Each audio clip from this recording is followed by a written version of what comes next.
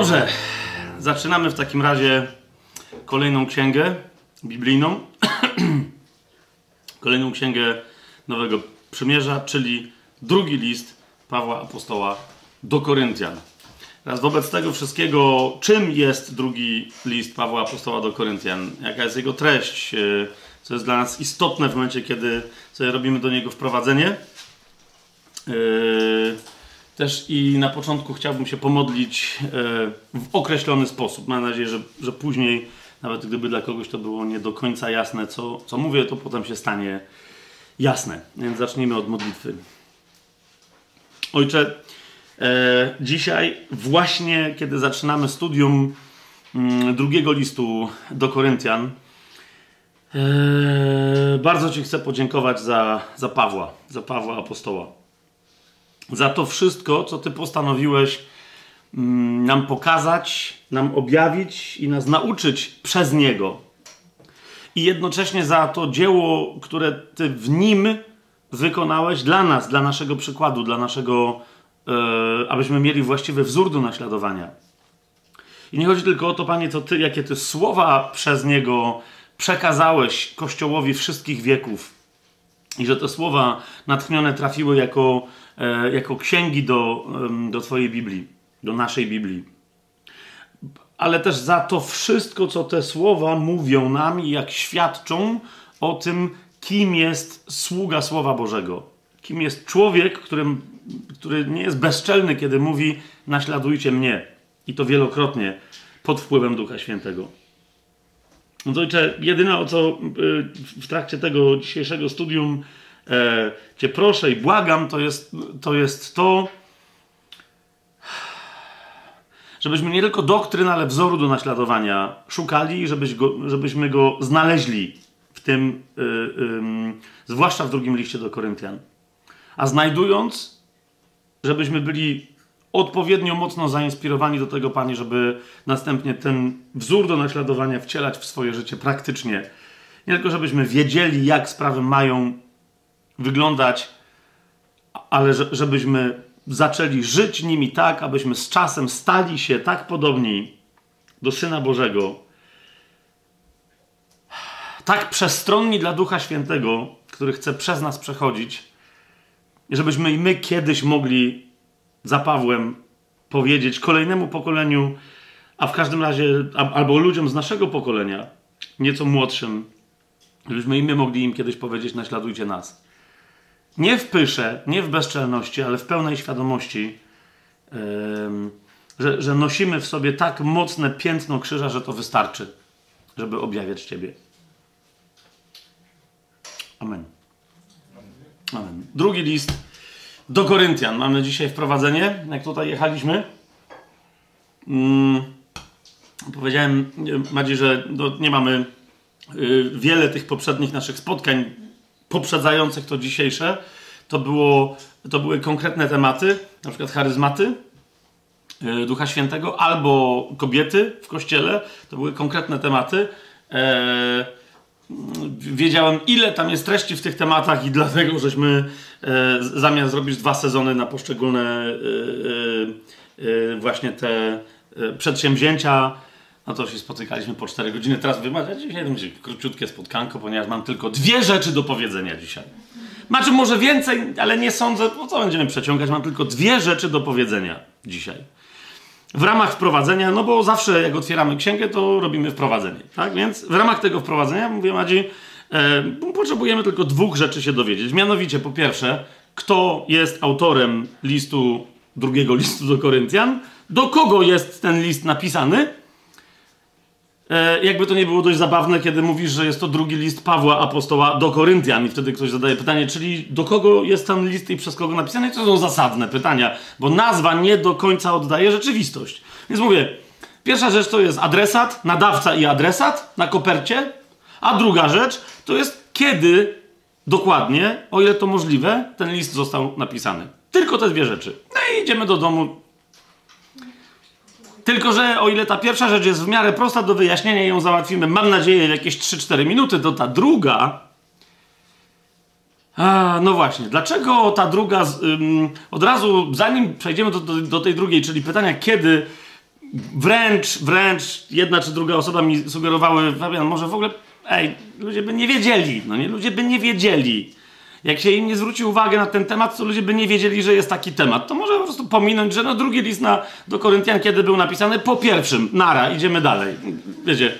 Eee, tylko, że, tylko, że. I tu muszę wyjaśnić czemu, bo e, e, tak, potrzeba pewnego rodzaju uwagi, a być może, że nawet dzisiaj po tym studium e, e, będziecie chcieli sami sobie prześledzić, co się tu dzieje, bo to będzie troszeczkę de detektywistyczne dochodzenie kiedy list, drugi list do Koryntian Pawła był napisany. Mm, I będziecie sobie chcieli sami sprawdzić zaraz co, kiedy, gdzie jest Frygia, gdzie jest Galia, czym jest Macedonia, e, a Azja to jest część czego i, i tak dalej, i tak dalej. Kiedy, co się wydarzyło, kto kiedy był we Frygii, kto kiedy w Galii, kto kiedy z Macedonii przeszedł do Achai, a czy Achaja to jest Grecja?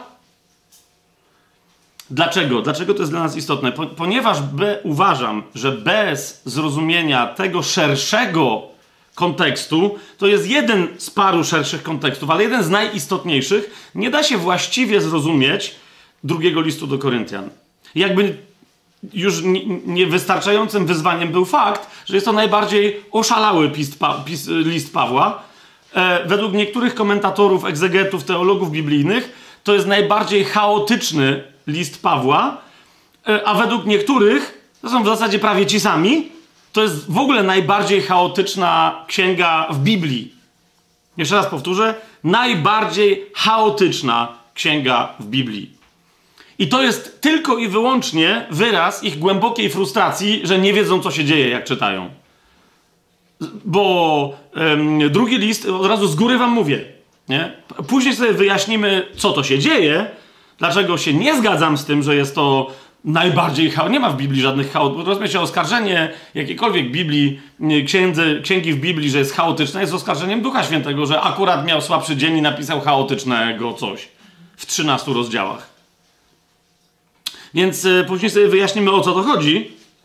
Niemniej uważam, że część tego problemu, który nie, y, bywa, że niektórzy y, egzegeci mają, właśnie z tego wynika, że próbują podejść powierzchownie albo e, za mało dogłębnie do pewnych fragmentów informacji zawartych w drugim liście do Koryntian, wyciągając stamtąd pochopne wnioski, później jak chcą e, jakieś grubsze, generalne e, konkluzje podjąć, nagle wtedy mówią zaraz, ale zaraz, ale zaraz, ale to zaraz, ale zaraz, to się nie zgadza z tym, to z tamtym i próbują problem własnej powierzchowności przerzucić na Pawła, że on miał słabszy moment i napisał chaotyczny list. Tak nie jest.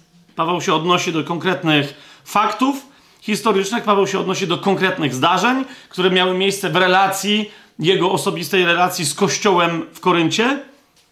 Yy, mm, dodatkowo zwrócę Wam uwagę, jeszcze zanim pójdziemy dalej, że ta, ta, ta kwestia relacji Pawła z Koryntem, kiedy czytamy dwa listy Pawła do Koryntian, o tyle jest istotna, że okej, okay, studiowaliśmy pierwszy list do Koryntian i koncentrując się na problemach, które Paweł tam porusza, można również odnieść, powierzchowne byłoby to wrażenie, ale można odnieść takie wrażenie, że to był trochę charyzmatyczny, emocjonalny, może i liczny, ale taki rozbuchany zbór na tle wszystkich pozostałych. Natomiast my musimy jedną rzecz zrozumieć. Z drugiego listu, co prawda dopiero y, Pawła do Koryntian to wynika, ale musimy jedną rzecz zrozumieć. Zbór koryncki w pewnym momencie dla chrześcijaństwa, kochani, to było coś takiego jak Watykan dla katolicyzmu dzisiaj. Rozumiecie? To nie Jerozolima, nie Antiochia, nie Rzym, nie Efes, ale właśnie Korynt.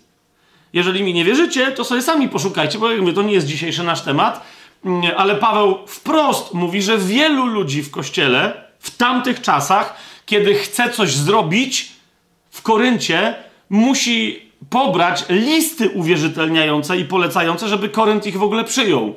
I z drugiej strony, jeżeli gdzieś chcą jechać i mieć łatwiej, biorą listy uwierzytelniające i polecające z Koryntu. Jeżeli Korynt mówi, ten gość jest ok, to on ma wszędzie wejście.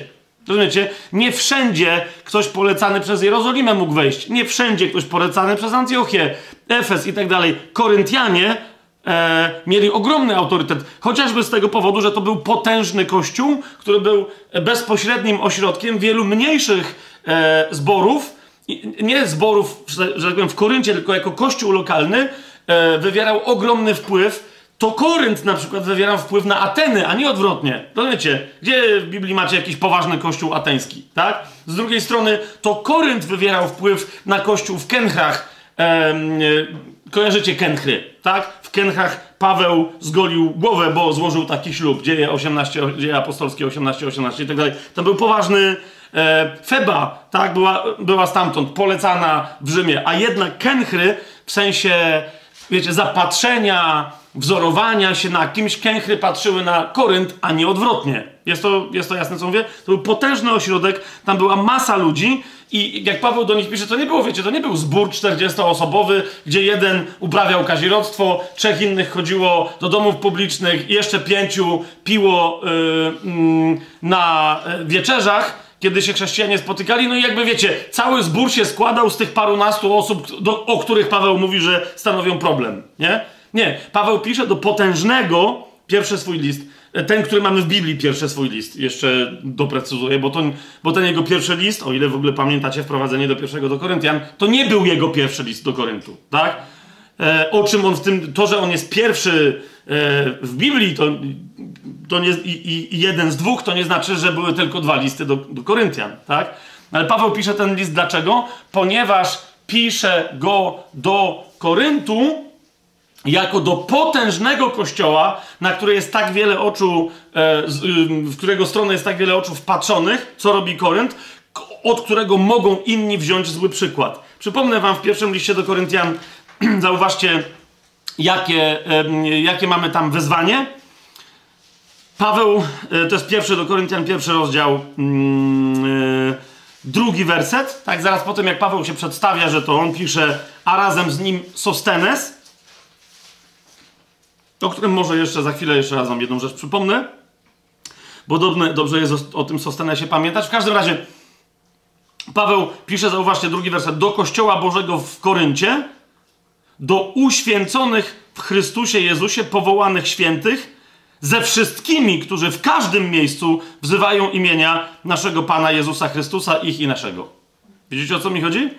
E, a więc sprawy, o których pisze Paweł w pierwszym do Koryntian, pisze do Koryntian, ale on wie, że cokolwiek e, u nich chce rozwiązać, na to będzie patrzeć cały Kościół, wszędzie na świecie.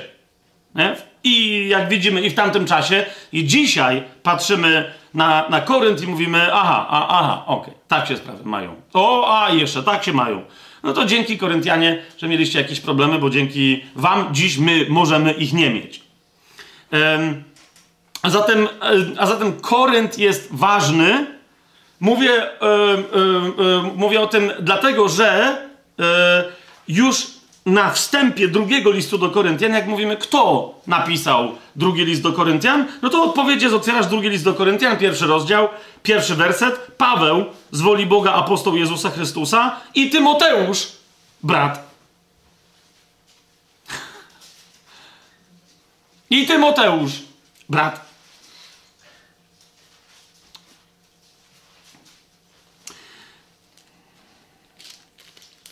No to widzę, że Chyba się orientujecie, mm, o co mi chodzi, ale jak się nie orientujecie, to otwórzcie sobie pierwszy list Pawła Apostoła do Tesaloniczan.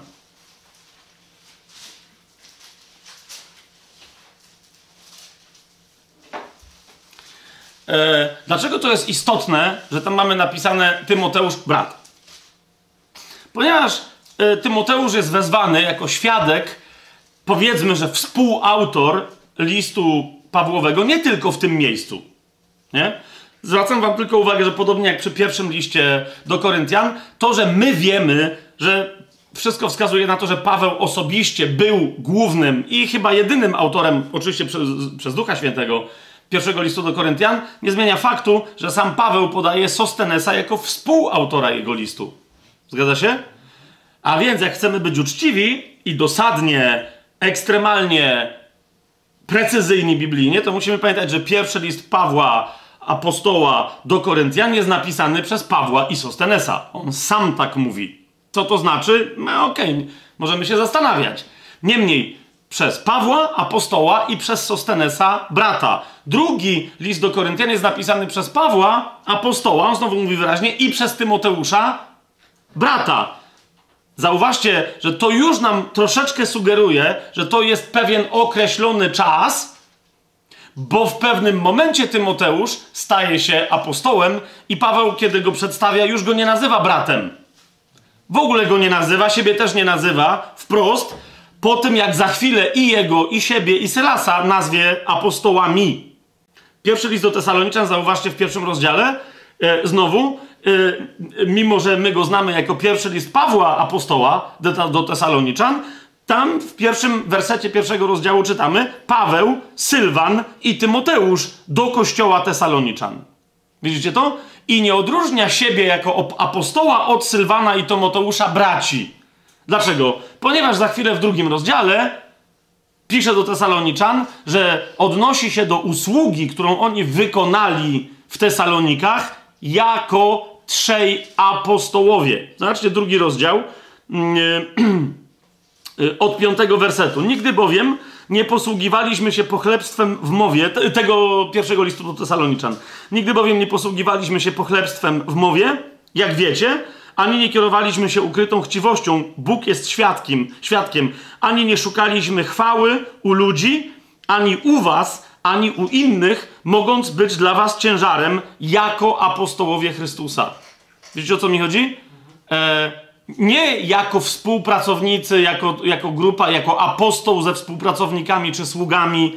Nie, jako apostołowie w liczbie mnogiej. Cały ten list jest napisany liczbą mnogą, dokładnie tak dosadnie jak w tych miejscach. Paweł, Sylwan i Tymoteusz. Ok? Natomiast drugi list do Tymoteusza, on, to jest bardzo. E, dlaczego o tym mówię? Ponieważ e, jeżeli my nie zwracamy uwagi na takie szczegóły, to potem możemy wykoncypować jakieś teorie, które nas wprowadzą w, e, no, po prostu w mętlik niewłaściwego rozumienia poszczególnych fragmentów drugiego listu do Koryntian, ale też innych E, ale też innych e, fragmentów e, Biblii. Więc tu ewidentnie Paweł pisze razem z Tymoteuszem, ale którego jeszcze nie nazywa apostołem, nie sugeruje, że to jest apostoł. Wyraźnie siebie jako apostoła oddziela od niego jako po prostu swojego towarzysza, który bierze udział w pisaniu tego listu. To, że Tymoteusz uczestniczy w tym pisaniu, to jak sobie prześledzicie, skąd się Tymoteusz wziął,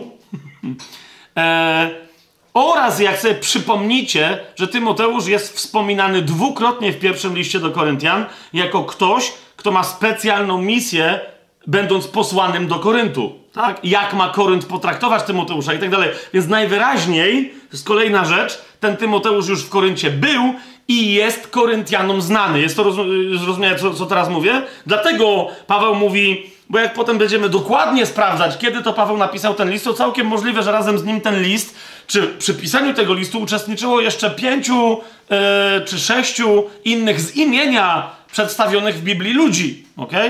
Ale Paweł mówi ja i Tymoteusz. Nie?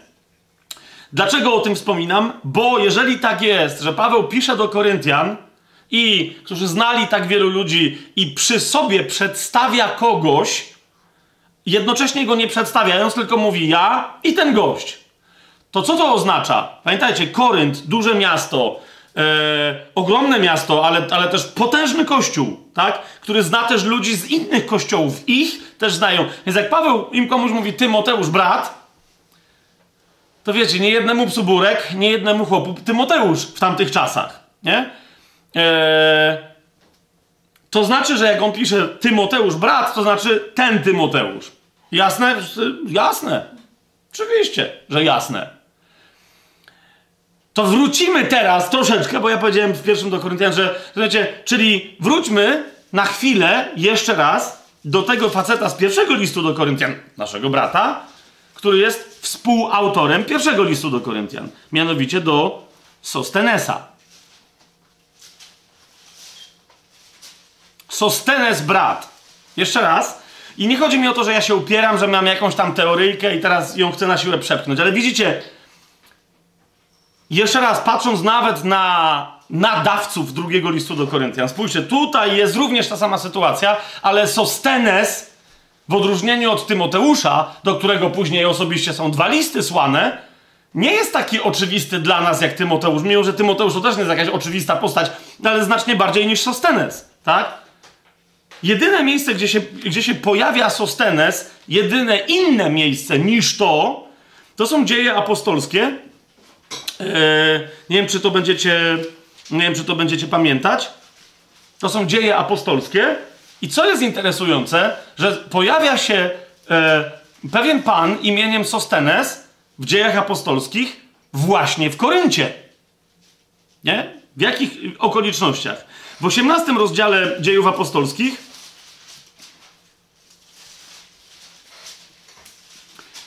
e, słyszymy najpierw, e, że jak Paweł przybył mm, do Koryntu, pamiętacie, on tam się poznał z Pryską e, i z Akwilą, z tym małżeństwem, tak? Wszyscy wiedzą, o czym, o czym ja teraz mówię.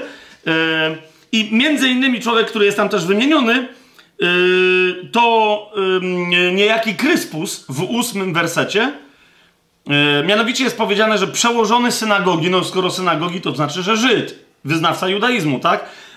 W Koryncie. Przełożony synagogi, synagogi Kryspus uwierzył w Pana wraz z całym swoim domem. Także wielu Koryntian, którzy słuchali, uwierzyło i zostało ochrzczonych. A zatem domyślamy się, że skoro była synagoga żydowska i jej przeła, przełożony się nawrócił, Kryspus, no to pewnie Żydzi mianowali następnego przełożonego, którego liczyli, co do którego liczyli, że będzie bardziej wierny niż Kryspus. Tak? I ten następca Kryspusa, jak się mianowicie, yy, jak się mianowicie nazywa? Hmm? Skąd o tym wiemy? Z 17. Z 17, dokładnie, z 17 wersetu, bo tam niejaki Galio, prokonsul, e, mm, wywołuje w Żydach nadzieję, że może on wreszcie coś z chrześcijanami zrobi, a mówi, że pa, nie będę nic zrobić. I wtedy cały tłum rozwścieczonych nie-Żydów wszelkiej maści pogan, co robi? Wtedy wszyscy Grecy, ale to rozumiecie, to nie chodzi o to, że to są Grecy, tak? To są wszyscy poganie. E, w Nowym Testamencie, jak Paweł zwłaszcza, ale Łukasz, wszyscy w tej tradycji, jak mówią, nie ma Żyda ani Greka, to znaczy nie ma ani wyznawcy judaizmu, ani poganina. To, to zawsze zasadniczo, z wyjątkiem pewnych drobnych wyjątków, zasadniczo o to chodzi, tak? A więc wszyscy Grecy schwytali Sostenesa, przełożonego synagogi, i bili go przed sądem, lecz Galio na to nie zważał. Eee, I tyle. Nie ma żadnego innego Sostenesa w Biblii. Teraz e, to nie jest żadna teoria, ona nie jest do udowodnienia, żeby to było jasne. Ale sami powiedzcie, czy nie da się postawić takiej hipotezy, że Sostenes z Koryntu musiał uciec z Koryntu po całej tej historii, ale że się nawrócił i być może został współpracownikiem Pawła do tego stopnia, że kiedy Paweł pisze do Koryntian, to właśnie jego czyni swoim współ, yy, współautorem tegoż listu i na niego się powołuje. Rozumiecie? Bo inaczej my nie mamy żadnego innego Sostenesa. Jasne, no to nie jest jedyna taka postać. Nie, to nie jest jedyna taka postać. Ale też czemu, gdyby ten Sostenes, kolejny przełożony synagogi, nie, nie był nikim istotnym, to czemu, wiecie, czemu Łukasz by go wymieniał z imienia? Rozumiecie, o co mi chodzi? A nie napisał po prostu, że przełożonego synagogi wzięli i zlali. Czemu go wymienia z imienia, chociaż to y, dla dziejów apostolskich w żaden sposób y, nie ma żadnego znaczenia. Więc, więc, więc, być może, że ten Sostenes. Y, my, my, w drugim liście do Koryntian mamy też taki wątek tajemniczych braci. bardzo tajemniczych braci. Jest interesujące, dlaczego Paweł tak zrobił, jak zrobił. Według mnie było prześladowanie, jeszcze o tym będziemy później więcej mówić. E, ale on ewident, ewidentnie dwóch przynajmniej ludzi, którzy są powszechnie znani w kościołach, i on mówi, to są najsławniejsi ludzie. Nie? E, jednocześnie pisze do Koryntian, nie wymieniając ich imion. Ża żadnych danych osobowych, że tak powiem, wrażliwych, żeby się nie dało ich zidentyfikować, nie? On tylko mówi, wy wiecie o kogo mi chodzi, nie? Ten to jest ten, a tamten to jest tamten. Ten jest znany pośród tych wszystkich kościołów, tamten się wsławił jeszcze inaczej. Wszyscy to muszą wiedzieć. Teraz jest pytanie, czy my jesteśmy w stanie ich zidentyfikować? Do kogo to w taki tajemniczy sposób pisze, e, pije nawiązuje Paweł. Nie? Niemniej yy, my, my to musimy rozumieć, że yy, pewne niejasności w tych, tych listach wynikają i Duch Święty je zostawił, żeby nam o tym przypominać, dokładnie z tego, że chrześcijanie musieli być trzeźwi i myśleć, co, jeżeli taki zapisany list wpadnie w niepowołane ręce. Rozumiecie? Najwyraźniej Tymoteusz, e, Sylas, inni, którzy są w pewnych kontekstach wymieniani, nie byli w tamtym momencie poszukiwani, nie? Że tak powiem, listem gończym. Natomiast ci, o których Paweł mówi, przyjdzie ten i ten, i to są ci i ci, ale to wy wiecie, kto ma wiedzieć, ten wie, że się klasykiem, hasłem klasyka posłużę, kto ma wiedzieć, ten wie, no to tam wszyscy, kto ma wiedzieć, to wiedział, tak? Ale nie napisał konkretnie. Więc jeszcze raz, yy, my tu nie mamy prawa robić żadnej wycieczki, ale ze względu yy, i, i twardej tezy stawiać, ale ze względu na to, na tego Tymoteusza w drugim do Koryntian jeszcze raz cały czas podtrzymuję tezę, że ten Sostenes z pierwszego do Koryntian może być Sostenesem z dziejów apostolskich. Okay? On, jeden i drugi jest bardzo mocno związany z Koryntem i być może jeden i drugi jest jednym i tym samym. Ale, ale, jak już mamy w drugim liście do Koryntian napisane, powiedziane, że pisze ten list, a więc nadawcą jest Paweł, jasna postać, i Tymoteusz, to zwróćcie uwagę, kto jest odbiorcą tego listu, bo odbiorca jest inny niż w pierwszym liście do Koryntian. W pierwszym liście do Koryntian Paweł napisał, że odbiorcą, odbiorcą jest yy, kościół w Koryncie i wszystkie inne kościoły. Ja bym osobiście dodał wszechczasów. Bo, bo jeżeli on mówi każdy wierzący na każdym miejscu, no to wiecie o co mi chodzi. To, i w każdym czasie. Natomiast zwróćcie uwagę, odbiorcą tego drugiego listu yy, jest ktoś inny. Nieco inny. Znaczy, grupa jest bardzo mocno zawężona w stosunku do tego, że wszyscy chrześcijanie. Otóż odbiorcą jest, tak? Kościół Boży, który jest w Koryncie, ze wszystkimi świętymi, którzy są w całej Achai. Aha. Aha. To jest bardzo istotne. Po pierwsze, musimy yy, przy, przy, tej okazji sobie wyjaśnić troszeczkę geografię, bo ona za chwilę w ogóle będzie istotna. W, w ogóle, wiecie, ja zauważyłem, że my często robimy taką dziwaczną rzecz, że czytamy Biblię. Yy, i, I kompletnie ją czytamy w oderwaniu od rzeczywistości. Nie? Czytamy każdą księgę e, Nowego Przymierza. Mm, czytamy każdą księgę Nowego Przymierza, jakby była księgą przysłów. W ogóle każdą księgę w Biblii, jakby była księgą przysłów, no nie? Że wy, próbujemy wyciągnąć z tej księgi tylko to, co jest jakąś sentencją, jakąś doktryną, jakimś nauczaniem, jak coś robić. Wiecie, o co mi chodzi, nie? A cała reszta jest taka, ne, to jest jeżeli z taką, z taką postawą czytamy Ewangelię, no to znaczy, że zrozumieliśmy z Ewangelii może 20%. Bo w dużej mierze w Ewangeliach chodzi nie tylko. Nie, inaczej, nie w dużej mierze. Kompletnie w Ewangeliach chodzi o to, co Jezus mówił, ale też chodzi o to, co robił. A żeby zrozumieć, co robił, to my musimy wiedzieć wobec kogo, gdzie co robił. Tak? Więc y, geografia jest tam niezwykle istotna. Y, gdyby nie była, to po co by Duch Święty marnotrawił swój i nasz czas i podawał jakieś dziwne nazwy i tak dalej. Bo w tych nazwach jest mnóstwo informacji istotnych zawarte. Co to była za kraina geograficzna, kto do kogo jak się odnosił, gdzie dana rzecz się wydarzyła. A więc, e, rozumiecie, bo jeżeli Jezus by powiedział, odnosił się do tronu szatana i by mówił o tronie szatana w Jerozolimie, to by miało kompletne inne znaczenie niż kiedy mówi o tronie szatana w okolicy Tyru i Sydonu. A później, kiedy Biblia mówi o tronie szatana, w jeszcze innym miejscu, i y, y, ten tron szatana jest umiejscowiony w Turcji dzisiejszej, w konkretnej miejscowości. Więc y, jest niezwykle istotne, y, na przykład geografia, ale nie tylko, żeby wiedzieć, kto do kogo o czym mówi, żeby dopiero z tego wyjąć właściwą wiadomość, którą Duch Święty nam przekazuje. Zatem, co to jest Achaja? Bo niektórzy mówią, że Achaja to jest Grecja. E, no ale w sensie jaka Grecja? Achaja e, w starożytności, a w każdym razie w tych czasach, kiedy powstaje nowe przymierze, to jest dla nas najistotniejsze, teksty nowego przymierza, Achaja to jest południowa część Grecji. Ok? Achaja to jest południowa część Grecji.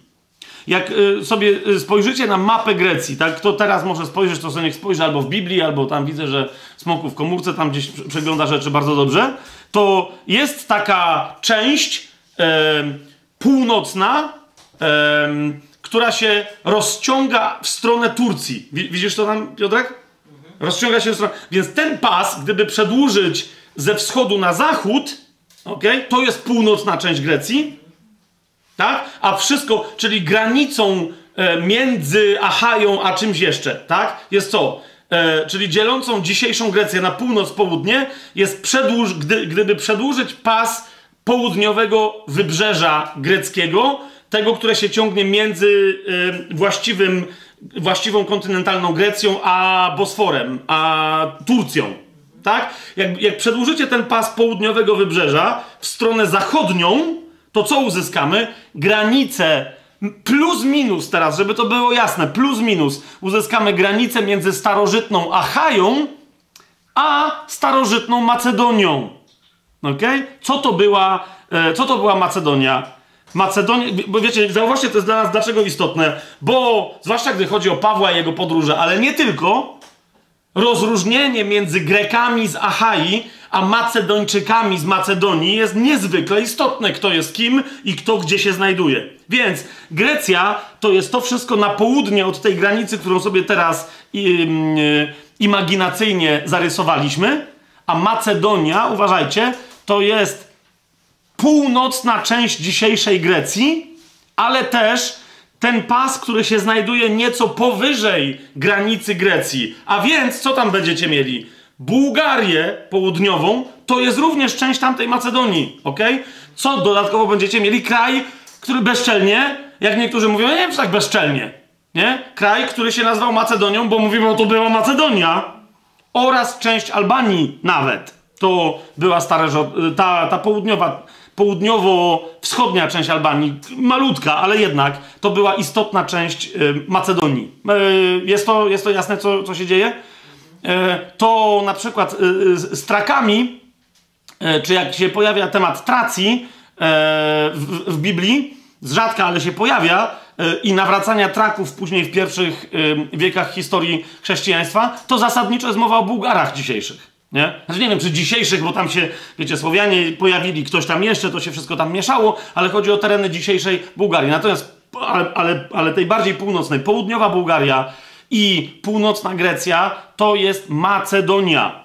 Teraz dlaczego to jest istotne, kochani? Ponieważ dla wszystkich naszych następnych w ogóle rozważań, dla Twoich osobistych rozważań, ponieważ, bo tu jeszcze jeden termin musimy e, wyjaśnić, e, Turcja dzisiejsza to w Biblii jest Azja. Siedem kościołów Azji to nie jest, rozumiecie, kontynent azjatycki, to jest konkretnie Turcja. Tak? To jest konkretnie Turcja. Eee, a więc Azja to jest prawie cała dzisiejsza Turcja. Wschodnia część Turcji, jeszcze to o tym będziemy kiedy indziej mówić, zwłaszcza przy okazji Galatów, czy też Galacjan. E, wschodnia część Turcji ta poniżej zwłaszcza e, późniejszego Konstantynopola czy dzisiejszego Istambułu, e, to są dwie krainy, które ta najbardziej, mm, że tak powiem, kraina wschodnia w Turcji, czyli starożytnej Azji, wyglądająca w stronę Grecji, ta kraina naz nazywana była Frygią, a jej sąsiadka wschodnia, czyli nieco w głębi lądu Azji umiejscowiona kraina, czy region nazywała się Galacją. Ok? To jest bardzo istotne. Ale Frygia i Galacja były częściami, yy, regi regionami Azji. To jest yy, jasne, to jest, co mówię? A więc zauważcie, jest Azja, to jest Turcja. I teraz, jak z Turcji przez cieśninę bosforską chcesz przejść do, że tak powiem, właściwej Europy, to gdzie wchodzisz? Nie do Grecji, czyli nie do Achai, bo Achaja jest właściwą Helladą, to jest jeszcze inna nazwa na Grecję starożytną, tak? Wchodzisz z Turcji, czyli z Azji, tym wąskim przejściem, czyli po prostu, wiecie, promikiem, przepływasz gdzie? Do Macedonii, a dopiero z Macedonii możesz się dostać do Achai, czyli do właściwej Grecji, tak? I teraz, czemu to jest istotne? Bo centrum e, Macedonii, o ile nie ma w Biblii powiedziane inaczej, to jeżeli Biblia mówi Macedończycy albo mówi Macedonia, to chrześcijanie myślą Filipi. Nie? Więc na przykład list do Filipian jest klasycznym listem do Macedończyków. Tak?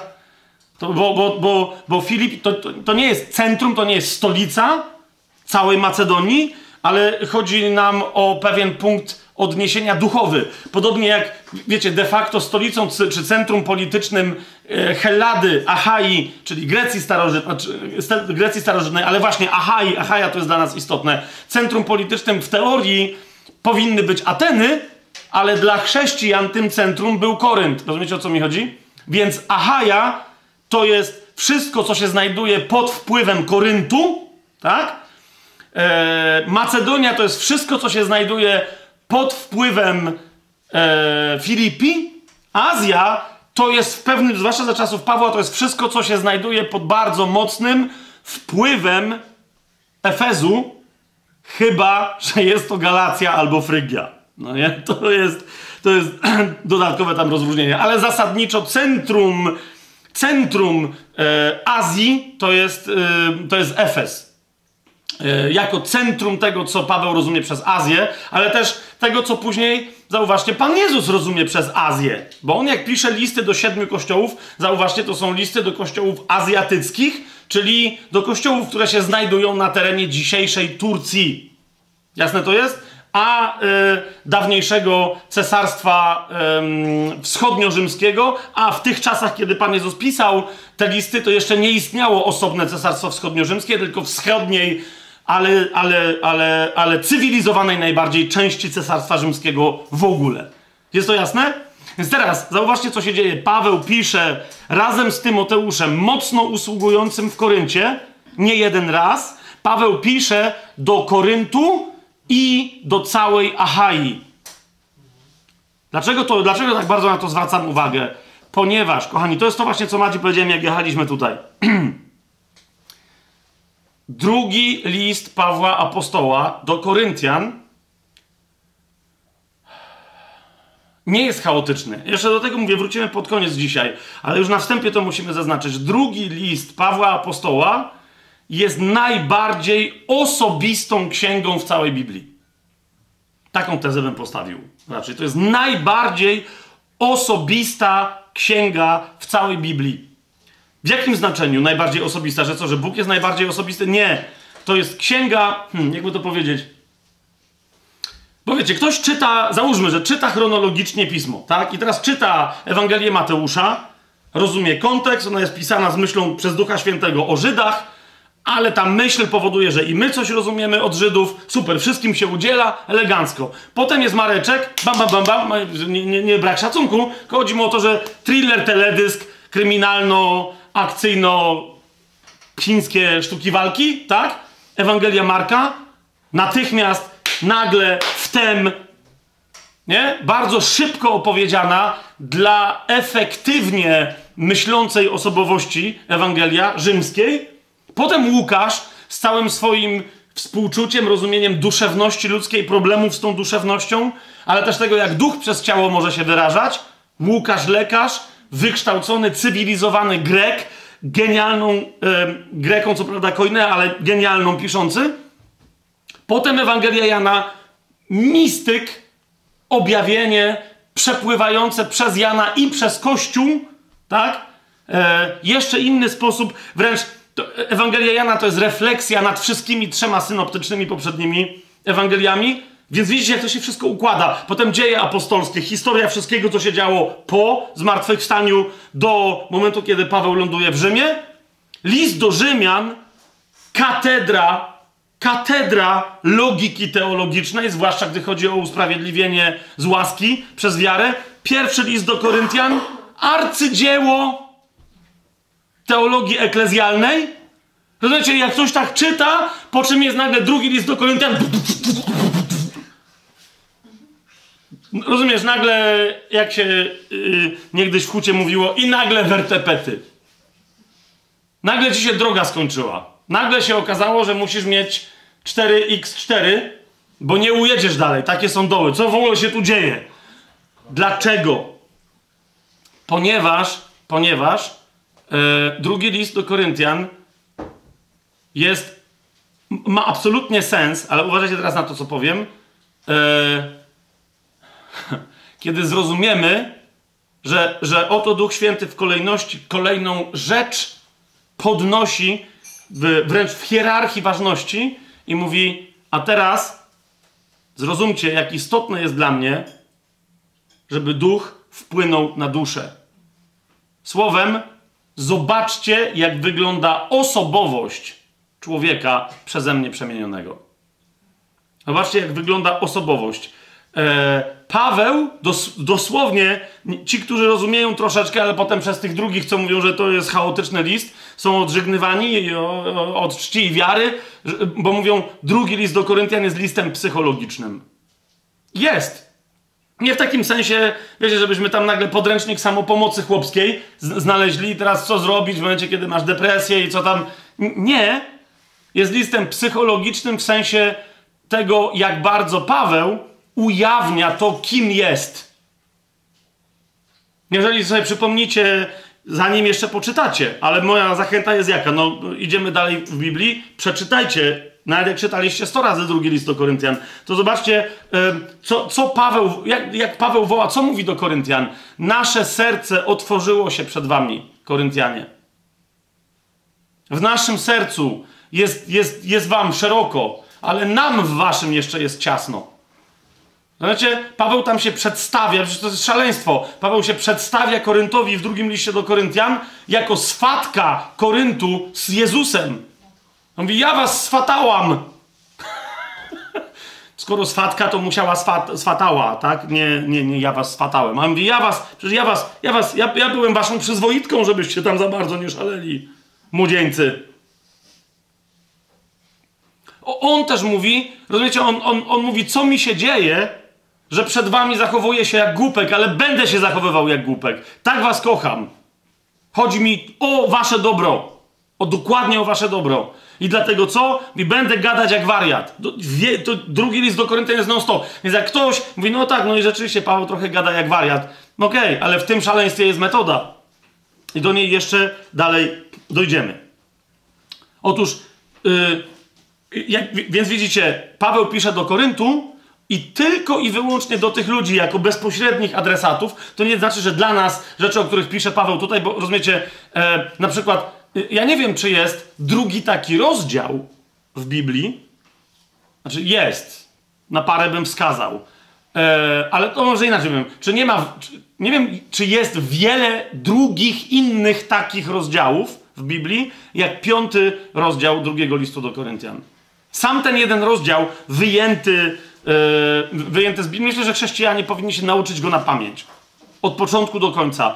I, I teraz rozumiecie, chodzi o to, że tam każde zdanie albo jest objawieniem jakiejś sensacyjnej prawdy, albo przedstawieniem w zupełnie nowy, świeży sposób e, prawdy znanej, ale, ale głębiej, albo przypomnieniem o czymś, o czym nam się łatwo zapomina. Dla niektórych kwestii, dla głoszenia Ewangelii, na przykład wiecie, gdyby nie piąty rozdział, nigdzie nie ma tak tego wprost napisanego, jak w piątym rozdziale drugiego e, listu do Koryntian, że e, kiedy Chrystus umierał na krzyżu, ojciec był w nim. Na, na przykład, nie? Na przykład sugestia z tego rozdziału, że Paweł y, znał Chrystusa, no, bo ta sugestia jest tam dość mocna y, fizycznie, że go widział. To nie jest dziwne w Jerozolimie, może nawet go słuchał, ale on wtedy nic, nic, nic nie zrozumiał. A dziś w ogóle go to nie interesuje, żeby znać Chrystusa cieleśnie. Rozumiecie, a propos tych wszystkich, którzy nieustannie by chcieli mieć objawienie, żeby mi się Jezus zjawił i ich głaskał po głowie. Nie? A Paweł mówi: nie, nie, nie chcemy tego. Chcemy innej znajomości z Jezusem. Mówi o Trybunale Chrystusa, co powinno wielu przebudzić, że tak, my nie idziemy na sąd. Zgadza się, nie idziemy na sąd potępienia, ale, ale każdy chrześcijanin trafi na inny sąd, który jest przez Pawła piątym rozdziale drugiego do Koryntia nazwany Trybunałem Chrystusowym. Mówi o tym, jakie powinno nam towarzyszyć pragnienie, pragnienie śmierci Niektórzy mówią nie, pragnienie zmartwychwstania, a w każdym razie nie życia i nie zmagania się z tym ciałem. Czemu my w nim zostajemy? No to Paweł w wielu innych miejscach tłumaczy, czemu chce umrzeć, ale dlaczego żyć, dlaczego to i dla kogo jest jeszcze jakiś zysk. I, i więc w związku z tym, e, komu on ten zysk zapewnia, bo nie sobie. Więc, więc rozumiecie, ni stąd ni w ramach tego niby chaosu pojawiają się w drugim liście do Koryntian non-stop tezy, którymi następnie później zajmuje się biblijna teologia i przeciera oczy ze zdumienia, mówiąc: Hej, Paweł tu rzeczywiście w dwóch zdaniach powiedział coś, o czym w życiu byśmy się nie skapnęli, że w ogóle ma miejsce, gdyby nie on. A on to mówi mimochodem w ramach swojego szaleństwa, w cudzym słowie. Nie? Samo rozwa- Paweł tu w ogóle o czym innym mówi, na przykład w pierwszym rozdziale drugiego do Koryntian, i tylko jego wtręt, dosłownie, nie jak to, jak to lepiej nazwać, wtrącił tylko uwagę na temat obietnic Bożych i ich wypełnienia i naszej pewności co do tego. Nie? Po czym to jest y, fragment inspirujący cały ciąg studiów teologicznych, biblijnych na temat obietnic, obietnic Bożych i naszego prawa mm, oczekiwania ich realizacji to jest cały, cały, cały nurt w teologii, rozumiecie, przez ostatnich zwłaszcza kilkaset lat owocujący kolejnymi biblijnymi, genialnymi odkryciami, istotnymi dla życia chrześcijańskiego. Wow! A Paweł tutaj tak mówi, wiecie, tak o w ogóle co, o czym innym, yy, o czym innym gada, nie? Więc, ale to powoduje, że niektórzy mówią, no ale to jest chaos. No nie mógłby chłop jakoś tam uporządkować. Nie, nie, nie, nie. nie. Yy, nie ma tu żadnego chaosu. To jest tylko człowiek, który przemawia do innych wierzących, których zrodził w Chrystusie, o czym yy, Koryntianom Paweł wielokrotnie przypominał, który przemawia do nich z pasją. Który przemawia do nich z pasją. Kochani, e, to, co, co Duch Święty w drugim liście do Koryntian podkreśla, to jest, że wielokrotnie dla niego istotniejsza jest pasja, to znaczy miłość Chrystusowa, która przez kogoś przemawia, gdy głosi innym, gdy świadczy innym, a niekoniecznie właściwe ustrukturyzowanie jego wypowiedzi, kompletna prawidłowość oraz nieomylność w cytowaniu, czy to był 16 rozdział i 7 werset czegoś, czy może 14 rozdział i drugi werset, bo ktoś się pomylił. I Duch Święty mówi, nie, to mnie w ogóle nie interesuje. Ja dbam o to, żeby prawda dotarła do drugiego serca, ale ona dotrze, moja prawda, a więc właściwa prawda, jedyna prawda, dotrze tylko i wyłącznie przez kogoś, kto się otwiera miłością i innych tą miłością też otwiera. Więc yy, jak będziemy dalej yy, czytać, studiować, pamiętajcie cały czas o tym.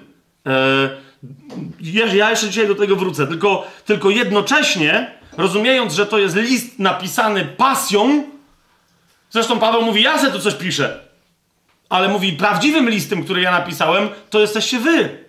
Nawrócenie każdej, każdego z was, którzyście słuchali mojego e, głoszenia Ewangelii, którzyście słuchali mojego nauczania, którzy jesteście posłuszni teraz temu, co do was mówię. Wy jesteście listem, wy jesteście moją chlubą.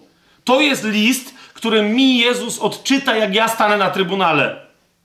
I jednocześnie wy, będąc posłuszni temu, co, do ja, co ja do was mówię, wam Jezus mnie odczyta jako waszą chlubę bo on wam policzy za chlubę co? Że mnie słuchaliście, bo rozpoznaliście, że on sam mówił do was przeze mnie.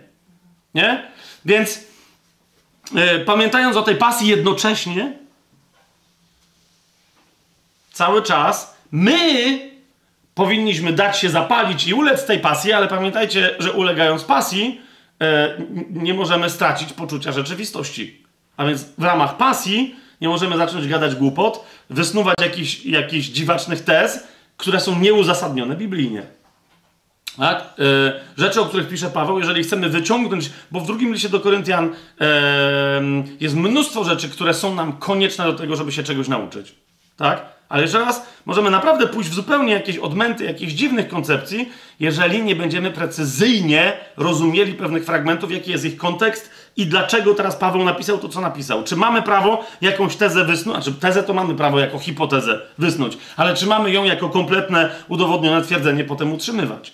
I teraz, jednym z tych najważniejszych kontekstów, jak powiedziałem, bo już sobie powiedzieliśmy, kto do kogo napisał, tak? Bardzo osobisty list Pawła, który zawezwał na, świadko, na świadka jako współautora innego mocno usługującego mm, u Koryntian brata, czyli Tymoteusza, pisze do kogo? Do Koryntu i do Achai, a nie do kompletnie całego chrześcijaństwa. Czemu? Bo Paweł nie zamierza udawać, że wszyscy inni chrześcijanie e, mają z nim relację czy historię taką samą jak Koryntianie i Achaja. Czy to jest jasne, co, co mówię? My też tego nie powinniśmy się jakoś, wiecie, wstydzić. Ja nie wiem, niektórzy mają strasznie jakieś takie, taką religię jakąś dziwną, że, że kochać trzeba wszystkich porówno i tak samo i coś tam. Przecież wiadomo, że tak nie jest, no nie? Po co takie głupoty w ogóle gadać? Nie? Cza czasem do pewnych rzeczy kogoś bardziej dopuszczamy w swoim osobistym życiu i także w duchowości, a czasem kogoś mniej. Zobaczcie, Pan Jezus miał 12 apostołów, miał też 70, ale czasem wybierał tylko trzech i z nimi poszedł na górę przemienienia. Tak? Do, do wskrzesić córkę Jaira też tylko z tymi trzema poszedł. Cała reszta mówi, nie, nie, nie. Wy nie. Tak? Więc jeżeli y, ktoś by na przykład wysnuł taką tezę, że Paweł wolał Koryntian od wielu innych zborów, e, to bym powiedział, no niekoniecznie najbardziej Koryntian wolał, ale zgadza się, znacznie bardziej z Biblii wynika, że ich wolał w pewnym momencie niż na przykład Rzymian. On w Rzymie w ogóle nie był, to czemu miałby tamtych woleć? Wszystkich traktował tak samo jako braci i siostry, ale rozumiecie? Ale do Rzymian wyraźnie pisał, mówi, no ale was tam kto inny nawracał. Ale, a tu to są moje dzieci. Więc teraz, jak już to mamy jasne, przejdziemy do tej odpowiedzi na to drugie pytanie, bo to jak widzieliście było prościutkie. A drugie pytanie brzmi, kiedy Paweł napisał drugi list do Koryntian? Zanim powiem w ogóle, czemu nas to interesuje, to najpierw się przyjrzyjmy, kiedy. I że jak się temu dobrze przyjrzymy, to od razu chcę, żebyście się temu przyjrzeli, że jak się będziemy przyglądać, to wejrzymy w coś, w co wszyscy powinni wejrzeć, a nie wiem, albo przymykają oczy, albo coś, albo im się nie chce, bo jak ktoś się dokładnie przejrzy, to mamy tam parę poważnych problemów. Zadając to proste pytanie, kiedy Paweł napisał drugi list do Koryntian. Nie problemów, które by miały być, wiecie, jakąś sprzecznością, podważyć Słowo Boże czy coś, tylko to są istotne dla interpretacji drugiego listu do Koryntian problemy.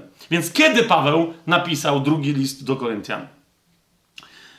Yy, no, najpierw zadajmy pytanie, yy, no a kiedy napisał? Pierwszy, odpowiadaliśmy sobie ostatnio, ale po tamtej odpowiedzi wciąż niektórzy mówili, czyli co się stało, bo co się stało? Więc, więc, jeszcze raz. A nawet jakby ktoś wtedy zrozumiał, e, to dobrze. Repetitio mater studiorum trzeba sobie powtórzyć. Kluczem do odpowiedzi na pytanie, w ogóle umiejscowienie na osi takiej czasu, wiecie, uniwersalnej historii ludzkości, jest postać niejakiego Galia. Dlaczego? W 18 rozdziale dziejów apostolskich czytamy, że yy, szybciutko tę historię przedstawię. To jest 18 rozdział dziejów apostolskich. W pierwszym wersecie czytamy, że potem Paweł opuścił Atenę i przybył do Koryntu. Ja pomijam, że mamy wiele innych tam postaci historycznych i tak dalej, na podstawie których y, inne y, datowania y, możemy pouzupełniać, tak? Ale o co mi chodzi? Paweł przybył do Koryntu i teraz w 12 wersecie mamy napisane, że gdy Galio był prokonsulem w Achai, Żydzi jednomyślnie powstali przeciw Pawłowi i przeprowadzili go przed sąd. E, o, otóż, otóż, Paweł był w Koryncie, to jest bardzo istotne, na pewno w czasie, gdy Galio był prokonsulem Achai. Tak? Zgadza się? E, co więcej, z dziejów apostolskich wynika, kochani, że mimo, że Ateny powinny być preferowane, z jakiegoś powodu ten prokonsul konkretny o imieniu lub też nazwisku Galio, o czym za chwilę, wybrał Korynt. Niektórzy mówią, no tak, ale my nie wiemy, czy on. Yy, czy, czy to pozwanie Pawła przed Galiem, bo widzi, jak on był w Ahai, postanowili Żydzi przyprowadzić go przed sąd. Być może, że go zaprowadzili do Aten. Może, ale w dziejach apostolskich Łukasz naprawdę, nie będę teraz się wdawać, wiecie, tu w całą gramatykę, w inne historie, ale naprawdę z jego opisu wynika, że prokonsul Ahai był, ponieważ był prokonsulem w Koryncie, z tej okazji między innymi skorzystali. Żydzi uznali, skoro prokonsul jest na miejscu, nie będzie się musiał, my nie będziemy się mu... Wiecie, bo nie można było tak sobie wziąć Pawła i zawieźć do Aten. Natomiast jak to był obywatel Koryntu, mogli przyjść i powiedzieć, no jest tu gościu, który, którym powinieneś się zająć. Niektórzy tam się rzucają, że nie, nie, nie. Widzicie, sęk w tym, że yy, w 1905 roku na wykopaliskach w Delfach, a więc to jest początek XX wieku, więc nie wiem o co jeszcze jakieś rzuty, w 1905 roku została odkryta inskrypcja i nikt z archeologów nie ma, nawet tych najbardziej podważających pewne biblijne kwestie, mówią, no ale tu nie ma w ogóle żadnej dyskusji. Została odkryta inskrypcja, ja jej teraz nie będę całej cytować czy przypominać, zwłaszcza, że jej nie znam na pamięć, a sobie jej nie zapisałem, ale z niej bardzo jasno wynika, e, że to jest inskrypcja, którą rozkazał e, cesarz Klaudiusz e, zapisać w Delfach na pamiątkę tam czegoś, co właśnie prokonsul Galio zrobił, kiedy był prokonsulem Achai. I z tamtej inskrypcji wynika, to jest bardzo istotne, że kiedy był prokonsulem w Achai, osiadłszy w Koryncie. Taka, taki jest zapisek, taki jest zapisek w Delfach. To jest inskrypcja z 1905 roku. I teraz czego się dowiadujemy z tej inskrypcji? Że niejaki Galio z tej, ale potem, jak się okazało, są inne zapiski z czasów Klaudiusza oraz z czasów Nerona, o czym jeszcze za chwileczkę. E, dlaczego Łukasz go nazwał po prostu Galiem? Dlatego, że to jest jedyna rzecz, e, która go łączy w różnych zapiskach, bo w zależności od tego, kto o nim pisał, jakie miał prawo o nim pisać, bo to był wysoko postawiony arystokrata, albo był przedstawiany jako w pismach polskich znajdziecie go jako Juniusza Anneusza Galio. Juniusz Anneusz. Ale to jest wiadomo, że to jest spolszczenie, e, bo wszystkie Juniusy i Anniusy i tak dalej są, mają zawsze szy po polsku. Łaciński Janus po polsku jest Janusz e, i tak dalej.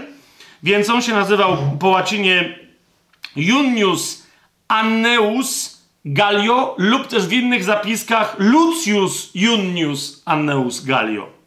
Tak czy siak to był zawsze Galio i dlatego Łukasz napisał Galio. Cała reszta Galio wielorga imion.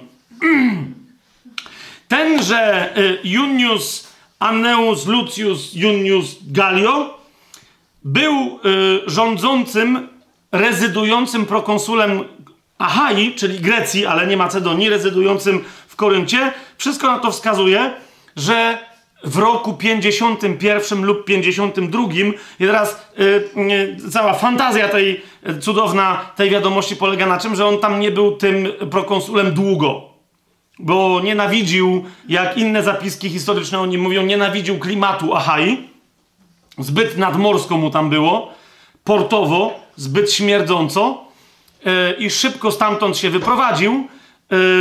Zresztą, wiecie, miał y, wpływy, jeżeli wam coś mówi, a powinno wam mówić, bo jesteście fantastycznie wykształconymi ludźmi, e, imię Seneca, oczywiście potem był Seneca starszy i Seneca młodszy, to teraz y, y, mamy szczęście, bo on był synem Seneki starszego, a wobec tego bratem Seneki młodszego. Tak? Więc rozumiecie, będąc tak spokrewnionym z Seneką, być może, że stąd taki, wiecie, taki stoicki spokój. Mówi, że jakby to były sprawy państwowe tutaj w Koryncie, to bym się wami Żydzi zajął jak należy, a że to są jakieś wasze religijne e, szały, to mnie to w ogóle nie interesuje. Nara. Więc być może to z tego wynikało, tak? Że go tata dobrze pewnych rzeczy y, nauczył, ale może nie, nie wiem. Niemniej, skorzystawszy z okazji, że może wrócić, bo mu się znacznie bardziej podobało życie cesarskie, nadworne, niż e, bycie jakimś nawet i prokonsulem, ale w jakiejś durnej Achai. Wrócił i bardzo szybko, bo w bodaj 59 roku skończył, e, Zresztą razem ze swoim bratem Seneką młodszym, jak pamiętacie, jak Seneka skończył, to razem z Galiem, jeszcze tam z paroma innymi zawodnikami, e, bo wtedy już cesarzem nie był Klaudiusz, jak wiecie, Klaudiusz odszedł, a zastąpił go Neron a Neron regularnie uważał, że wszyscy przeciwko niemu yy, spiskują. I jeden z takich sławnych spisków, znaczy sławnych dla Nerona, tak? To był spisek Pizona yy, i on uznał, że razem z nim spiskującymi byli właśnie ten Galio, ten z dziejów apostolskich i jego brat Seneca młodszy i jeszcze, yy, i jeszcze paru innych. E, no więc e, chłop z, z obrzydłej mu Achai przybył do Rzymu i niedługo później e, został oskarżony, mimo że był. Wybaczcie mi określenie, ale to był, wiecie, to był. Nie, nie, nie, nie wybaczajcie mi, go nie określę, ale sobie sami możecie określić. Um, strasznie się podlizywał Neronowi, o tak, tak to powiem, no nie? Yy, on został oskarżony o ten spisek zaraz po tym, jak tam, rozumiecie, stał i trąbił, y, jak Neron, bo wiecie, że on był tam te, te, takim teatralnym, teatralną postacią, pisał swoje, teatralną, tak, była gwiazda roka, no nie? Pisał utwory, śpiewał, odczytywał, odgrywał sam ze sobą, y, a reszta to byli statyści, no i właśnie ten Galio wrócił do Rzymu między innymi, żeby być statystą Nerona, po prostu stał i tam trąbił albo udawał drzewo, no to wiecie, to są takie, takie rzeczy. No, ale myśląc, że tak bardzo podlizuje się, skoro tak bardzo się podlizuje Neronowi, to jakoś przeżyje, nie zrozumiał, że no, skoro się podlizuje, to Neron go widzi, a kogo Neron widział, to podejrzewał. No i tak się to skończyło. Tak?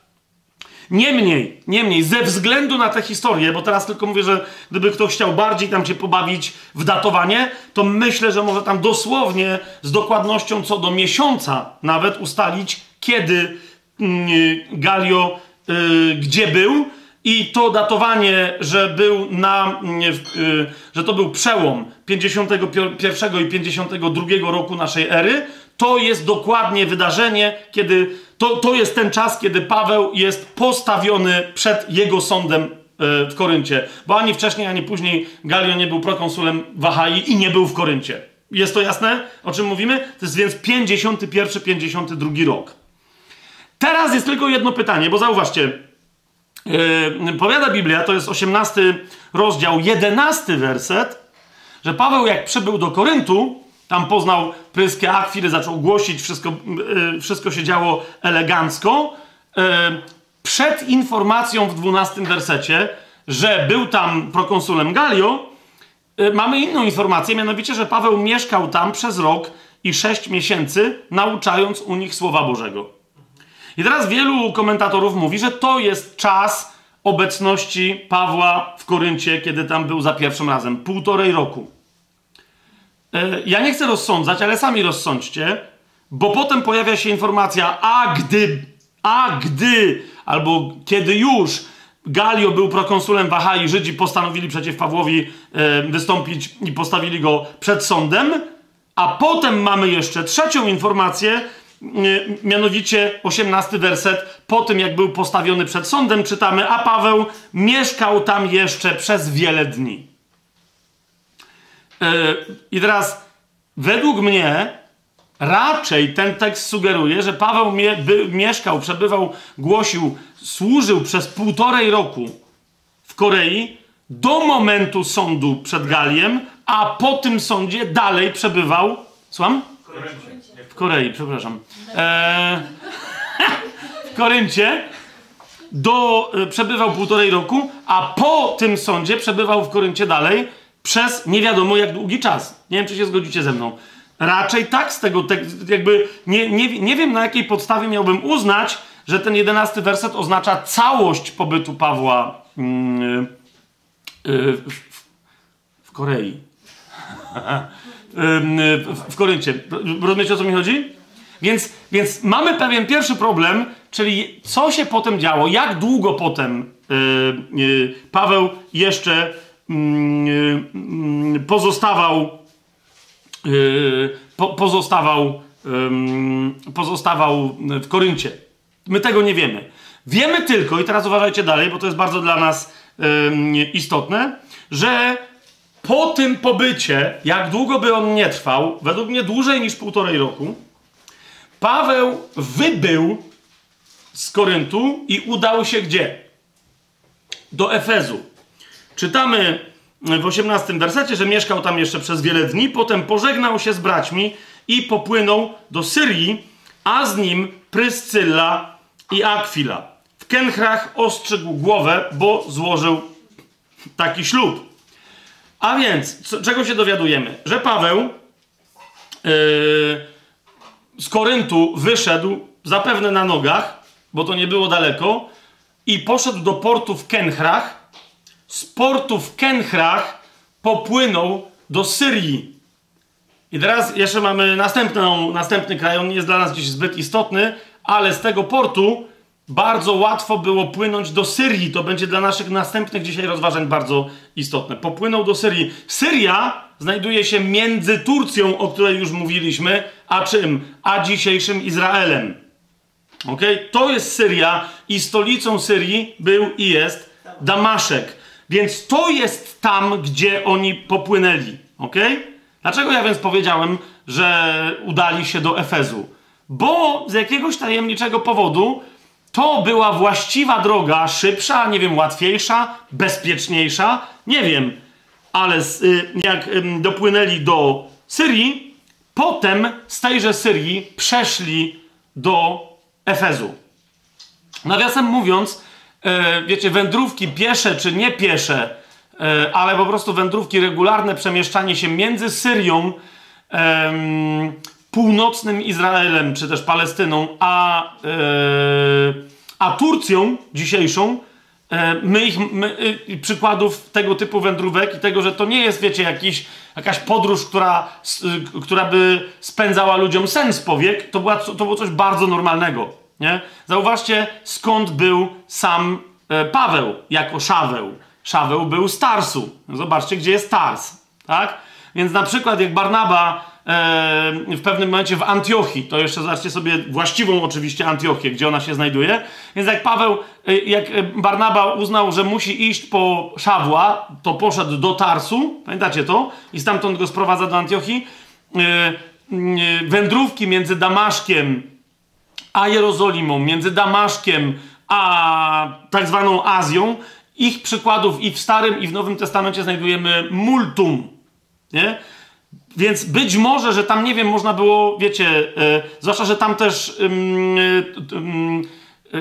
e, niekoniecznie trzeba było chodzić, tak? Ponieważ istniały tam trakty ze specjalnymi żłobieniami dla poczty cesarskiej, Poczta to była poczta ekspresowa tam, to, to był wóz ciągniony przez woły, więc, więc leciało to prościuteńko, szybciutko.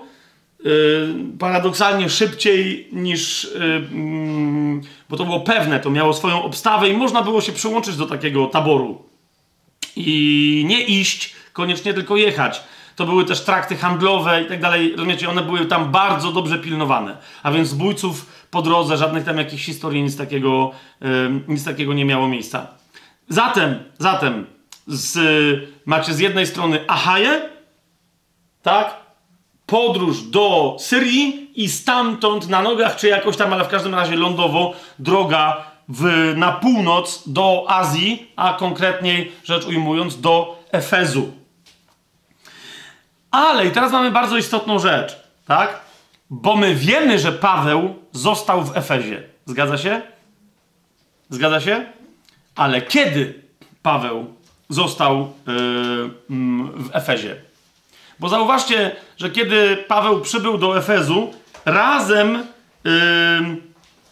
z mm, Pryską i z Akwilą, ewidentnie informacja o Efezie w kontekście Pawłowym pojawia się po co?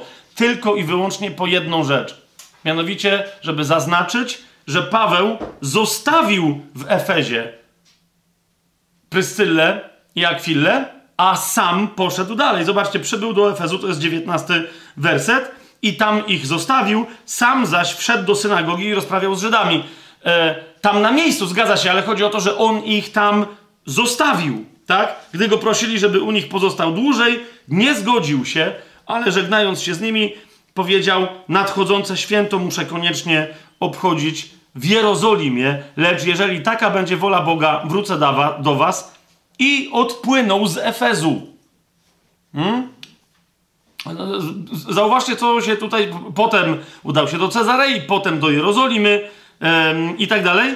Potem, to jest bardzo istotne, e, mieszkał przez pewien czas e, w Jerozolimie i potem wyruszył, przemierzając krainę galacką i Frygię a więc wrócił do, znowu do jednej części Turcji, przeszedł do innej, tej najbardziej zachodniej, to jest Frygia, e, umacniając wszystkich uczniów. I w ramach tej takiej mini podróży, którą ja nazywam podróżą mini jerozolimską, bo z jakiegoś powodu niektórzy uważają, że jak Paweł opuścił Jerozolimę, to potem wrócił tylko, pamiętacie, wtedy jak już go tam wzięli i zaaresztowali. Nie? Nie no, tu mamy jeden z przykładów, kiedy Paweł był w Jerozolimie. E, w 22 wersecie tłumacz tutaj dopisał, że on się udał do Jerozolimy, gdzie pozdrowił Kościół. E, I niektórzy mówią, no tu nie jest napisane, gdzie, no tak, ale z całego kontekstu wynika, I z gramatyki wynika, że on powiedział w 21 wersecie muszę koniecznie obchodzić święto w Jerozolimie i dokładnie tam dotarł w, w 22 wersecie. Jasne to jest? Więc on był tam w Jerozolimie bez żadnych problemów, przybył, wybył ym, stamtąd yy, i w momencie, kiedy Paweł odbywa tę podróż, zwracam wam uwagę, jest we Frygii, jest w Galacji, ale nie ma go w Efezie. W czasie, kiedy Paweł odbywa tę podróż, co się dzieje? Na scenę wchodzi Apollos. Ok? Na scenę wtedy wchodzi Apollos, bo właśnie wtedy, pod ów czas, 24 werset, powinien zaczynać się według mnie od tłumaczenia tego konkretnego słówka greckiego e, e, na język polski jako pod. Czyli albo wówczas, w tym samym czasie do Efezu przybył pewien Żyd imieniem Apollos. Pamiętacie yy, tego chłopa? Pryska za chwilą. On się pojawia potem w liście do Koryntian. Paweł przywołuje i mówi, niektórzy mówią, ja jestem Apollosa, ja jestem Pawła, ja jestem tak. Więc on jest bardzo ważną postacią. Paweł, Pawła cały czas nie ma w Efezie. Tam działa tylko Pryska za chwilą i dołącza do nich Apollos. Tak? I teraz uważajcie, to jest niezwykle istotne. Kiedy dołącza do nich Apollos, Apollos z Efezu postanawia wyruszyć do Koryntu. Jak już yy, jest ogarnięty i oni się ewidentnie z Pawłem w Efezie rozmijają. Pawła nie ma w Efezie. Nie? Jest, jest mianowicie powiedziane, że kiedy 27 werset 18 rozdziału dziejów apostolskich, kiedy chciał się udać do Achai, kto? Apollos, bracia go zachęcili i napisali do uczniów, aby go przyjęli w Koryncie. Gdy tam przybył, bardzo pomagał tym, którzy uwierzyli dzięki łasce Bożej. Skąd my wiemy, że ta Achaja to był Korynt? Jeszcze raz wam powiedziałem, zasadniczo jak nie ma innych wyjaśnień, Achaja to jest Korynt, Macedonia to jest Filipi, Efes to jest Efes, Galacja to jest Galacja, Frygia to jest Troada i tak dalej, i tak dalej. Nie? Tam są pewne punkty, ośrodki, więc jeżeli on się chciał udać do Achai, to było jasne, że do Koryntu i stamtąd, żeby, wiecie, żeby to była, powiedzmy, jego baza wypadowa apostolska, ale Korynt był dla chrześcijan w środku Achai. W 19 rozdziale, w pierwszym wersecie czytamy i stało się, że gdy Apollos przebywał w Koryncie, Paweł obszedł okolice wyżej położone, wyżej od czego? Ano wyżej od, zobaczcie 18 rozdział 23 werset, wyżej niż Frygia i Galacja. Po prostu tam są, to są wyżej położone, nie w sensie wyżej na mapie, czyli bardziej na północ, ale wyżej w sensie, yy, jak to się nazywa, Piotrze? Co? Topograficznym, dziękuję Tymek, w sensie topograficznym wyżej, tak?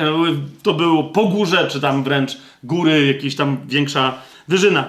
Więc Paweł wrócił do Efezu, kiedy Apollos był już w Koryncie. Yy, to jest bardzo Mm, y, to jest bardzo, bardzo y, istotne. I teraz, żebyśmy sobie odpowiedzieli na pytanie, kiedy Paweł pisze drugi list, jeszcze raz, jeszcze raz wam przypomnę odpowiedź na pytanie, kiedy Paweł pisze pierwszy list.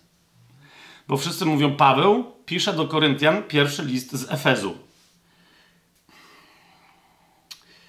No tak, Oczywiście, że pisze z Efezu. E, w pierwszym liście do Koryntian przecież czytamy w 16 rozdziale, w ósmym wersecie, a w Efezie zostanę aż do pięćdziesiątnicy. No to nie jest dla mnie jakieś nieprawdopodobnie wielkie odkrycie, tak? Ale kiedy Paweł pisze do Koryntian z Efezu? O, jest bardzo. Yy, a, ale to bardzo istotne. Otóż, kochani, Paweł pisze do Koryntian z Efezu z całą pewnością, uważajcie na to, co mówię teraz, kiedy Apollosa nie ma już w Koryncie. A zatem Apollos wyrusza z Efezu do Koryntu i tam działa. Paweł przybywa z powrotem do Efezu, wiedząc od Pryski i Akwili, że jest jakiś taki Apollos, ale tyle i działa w Efezie. Co Paweł działa w Efezie? No przypomnijcie sobie dzieje apostolskie, jak go tworzymy. Yy, jak otworzymy, Dzieje Apostolskie, 19 rozdział. Nie? co, co się tam działo. Najpierw mamy tych dwunastu, pamiętacie, my nie znamy chrztu e, Jezusowego w imię Jezusa, tylko chrzest Jana. Ci zostali. Potem, 19 rozdział, 8 werset. Potem przez trzy miesiące przychodził do, do synagogi i odważnie mówił, rozprawiając i przekonując o Królestwie Bożym. Gdy jednak niektórzy się upierali i nie chcieli uwierzyć i mówili źle o tej drodze wobec tłumów, odstąpił od nich, odłączył uczniów i codziennie rozprawiał w szkole niejakiego tyrannosa. A więc tam, wiecie, jakiś poważny ośrodek intelektualny, retoryczny, filozoficzny, cały się nawrócił i został Pawłowi udostępniony jako szkoła biblijna. Ok? I dalej czytamy. Działo się tak przez dwa lata, tak że wszyscy mieszkańcy Azji usłyszeli słowo Pana Jezusa, zarówno Żydzi, jak i, yy, jak i Grecy. My się później dowiemy od samego Pawła, na to wam również zwracam uwagę, gdzie indziej, E, jak się żegna nie w Efezie, ale ze starszymi z Efezu, czyli w Milecie bodaj, on mówi, że był u nich i głosił i pracował przez trzy lata. A więc to znaczy, że jak się Paweł zjawił w Efezie, to się działo coś przez jakieś dziewięć miesięcy, Potem ta sytuacja z głoszeniem w synagodze miała miejsce przez trzy miesiące, a potem przez dwa lata yy, to już była sensacyjna, potężna usługa. Nie wiem, czy się zgodzicie e, ze mną. Jak się nie zgodzicie, bo nie pamiętacie, kiedy to Paweł mówi, że był 3 lata w Efezie, to sobie otwórzcie 20 e, rozdział 31 werset. E, tam Paweł do starszych w Efezie mówi: Dlatego czuwajcie, pamiętając, że przez 3 lata we dnie i w nocy nie przestawałem ze łzami napominać każdego z was. Widzicie to? Zatem, jeszcze raz, 19 rozdział nam mówi, że co? Stało się, że gdy Apollos przebywał w Koryncie, Paweł obszedł um, okolice wyżej położone i dotarł do Efezu. I to działanie, jego pierwszy etap tego działania, w ramach którego między innymi nawrócili się ci tak zwani uczniowie Jana, to jest pierwszych 9 miesięcy. Potem czytamy, że przez 3 miesiące przychodził do synagogi, bo wiecie, on w Koryncie też nie od razu poszedł do synagogi, jak pamiętacie, tak? To nie było od razu przez trzy miesiące, a potem, po tych trzech miesiącach, więc one musiały zakończyć pierwszy rok działania Pawła w Efezie. Potem mamy dwa lata absolutnie sensacyjnego yy, Pawła. Yy, dziesiąty werset. Działo się tak przez dwa lata, tak że wszyscy mieszkańcy Azji usłyszeli słowo Pana Jezusa, zarówno Żydzi, jak i Grecy. Widzicie, to jest to, o co mi chodzi. Azja, centrum Azji to jest Efes, a Efes to jest wpływ na Azję. Jasne? I dalej. Bóg dokonywał niezwykłych cudów, przez ręce Pawła także nawet chustki albo przepaski z jego ciała kładziono na chorych, a choroby ich opuszczały i wychodziły z nich złe duchy. E, także wędrowni, tam nawet żydowscy egzorcyści naśladowali Pawła. No, znacie tę historię, tak? I teraz o co mi chodzi? Więc kiedy Paweł pisze pierwszy list do Koryntian? Pod koniec swojego pobytu w Efezie, czy to zamierzonego, czy niezamierzonego pobytu, tak długiego i czy to zamierzonego, czy niezamierzonego końca, ale pod koniec. Dlaczego? Ponieważ jeszcze raz powtarzam, Paweł mówi: Jestem w Efezie, ale Paweł też do Koryntian mówi: A u was Apollosa nie ma. Skąd o tym wiemy? Bo w pierwszym do Koryntian, w 16 rozdziale, zaraz po tym jak w ósmym wersecie Paweł mówi: A w Efezie zostanę aż do pięćdziesiątnicy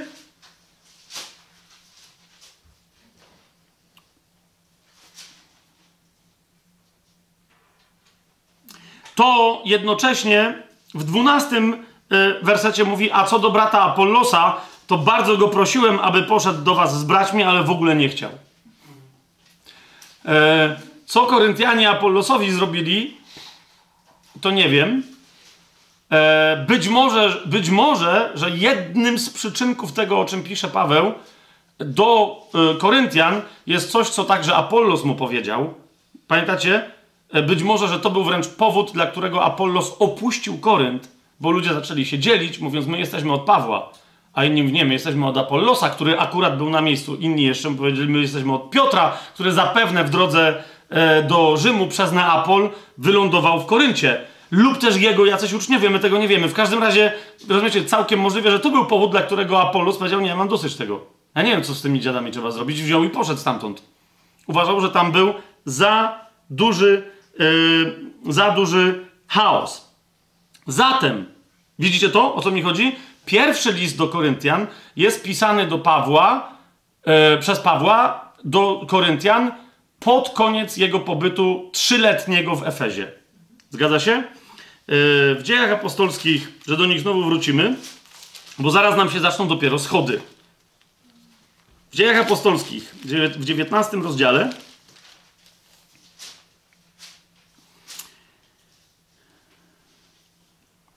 od 20 do 22 wersetu, co czytamy? Tak potężnie rosło i umacniało się słowo pańskie. To są te dwa lata Pawła w Efezie, tak? Te finałowe. I teraz spójrzcie, co tu jest napisane. Po tych wydarzeniach, zwracam wam uwagę nawet na to, bo my często prześlizgujemy się po takich wersetach, że no okej, okay, no dobra, ale co? Yy, a rozumiecie, to jest coś, o czym autor wie, że ty się dowiesz, niekoniecznie z czyichś zapisków historycznych, ale z tej samej księgi. Nie? Więc, więc uważajcie. A więc potężnie rosło, rozwijało się Słowo Boże. Po tych wydarzeniach Paweł postanowił w duchu, że po przejściu Macedonii i Achai pójdzie do Jerozolimy, mówiąc potem, gdy się tam dostanę, muszę zobaczyć także Rzym. A więc kiedy Paweł był w Efezie, miał jaki plan? Teraz będąc w Efezie, przedostanę się do Macedonii, czyli która się znajduje między Azją, Efes, a Achają, przedostanę się do Macedonii. Z Macedonii, czyli prawdopodobnie z Filipii i okolic, pójdę do Koryntu, potem popłynę do Jerozolimy, a potem jeszcze udam się do Rzymu. Taki był plan, kiedy Paweł był w Efezie. Ok? To nam też potwierdza, że wtedy, kiedy on podjął ten plan, dokładnie wtedy napisał pierwszy list do Koryntian. Dlaczego? Bo dokładnie ten plan przedstawia Koryntianom. w 16 rozdziale, że się znowu tam wrócimy, e, od piątego wersetu mówi tak. Mm, e, w czwartym wersecie, e, w trzecim wersecie mówi, że a gdy przyjdę, poślę tych, których w listach uznacie za godnych i tak dalej, czyli mówi, idę do was, nie? Przyjdę do was. W czwartym wersecie mówi, a jeżeli będzie właściwe, abym i ja się u, potem udał z, z, tymi, których wy wybierzecie, to pójdą razem ze mną, ale wraca do tego wątku, że chce przybyć i zauważcie, co mówi, przybędę zaś do was, kiedy przejdę Macedonię, będę bowiem szedł przez Macedonię.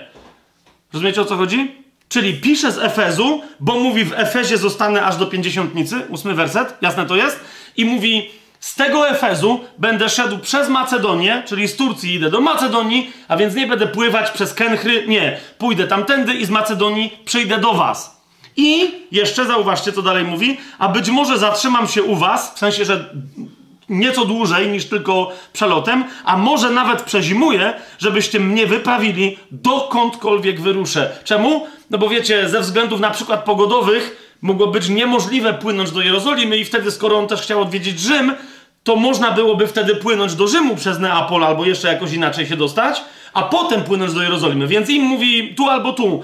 Ale widzicie, on mówi z Efezu pójdę do Macedonii i przyjdę do was, do Achai, do Koryntu. Więc jeszcze raz porównajcie sobie, co pisze Łukasz, 19 rozdział. Po tych wydarzeniach, tych wszystkich wspaniałych wydarzeniach w Efezie, Paweł postanowił w duchu, że po przejściu Macedonii i Achai pójdzie do Jerozolimy, mówiąc i tak dalej. Do, dotrze, czy popodróżuje, bo ciężko, żeby szedł stamtąd na nogach przez morze do, yy, do, do Jerozolimy. Wysłał więc do Macedonii dwóch z tych, którzy mu służyli, Tymoteusza i Erasta, a sam pozostał jeszcze przez jakiś czas w Azji. Świetnie, więc wiemy, kiedy. Pre... Rozumiecie o co mi chodzi, kiedy jest precyzyjnie napisany pierwszy list do Koryntian. To jest gdzieś, no właśnie, to jest po tych wydarzeniach z Galiem w Koryncie, 51-52 rok, i potem sobie sami ustalcie, jak datować pewne rzeczy, jak liczyć nie? Ale trzeba do, do tego, co tam policzycie, ile to tych było wiele dni w Koryncie, potem podróż, mini podróż jerozolimska Pawła, potem historia e, z Efezem, trzy lata trzeba dodać i pod koniec tych trzech lat Paweł pisze pierwszy list do Koryntian, mając na myśli przyjdę do was przez Macedonię. Zgadza się? I teraz niektórzy e, powiadają, że niestety Paweł nie dotarł do Koryntian, mimo że im napisał, że dotrze, bo sam mówi, że do nich nie dotarł, a nie dotarł dlaczego? Ponieważ dzieje apostolskie nam mówią, że właśnie kiedy, 22 werset, 21 werset, podjął w duchu taką decyzję, żeby tam iść, postanowił w duchu, e, wtedy właśnie wybuchło e, prześladowanie Demetriusza. Nie? Czyli on nawet, wiecie, wysłał przed sobą e, no właśnie Tymoteusza, a razem z nim Erasta jako jego pomocnika.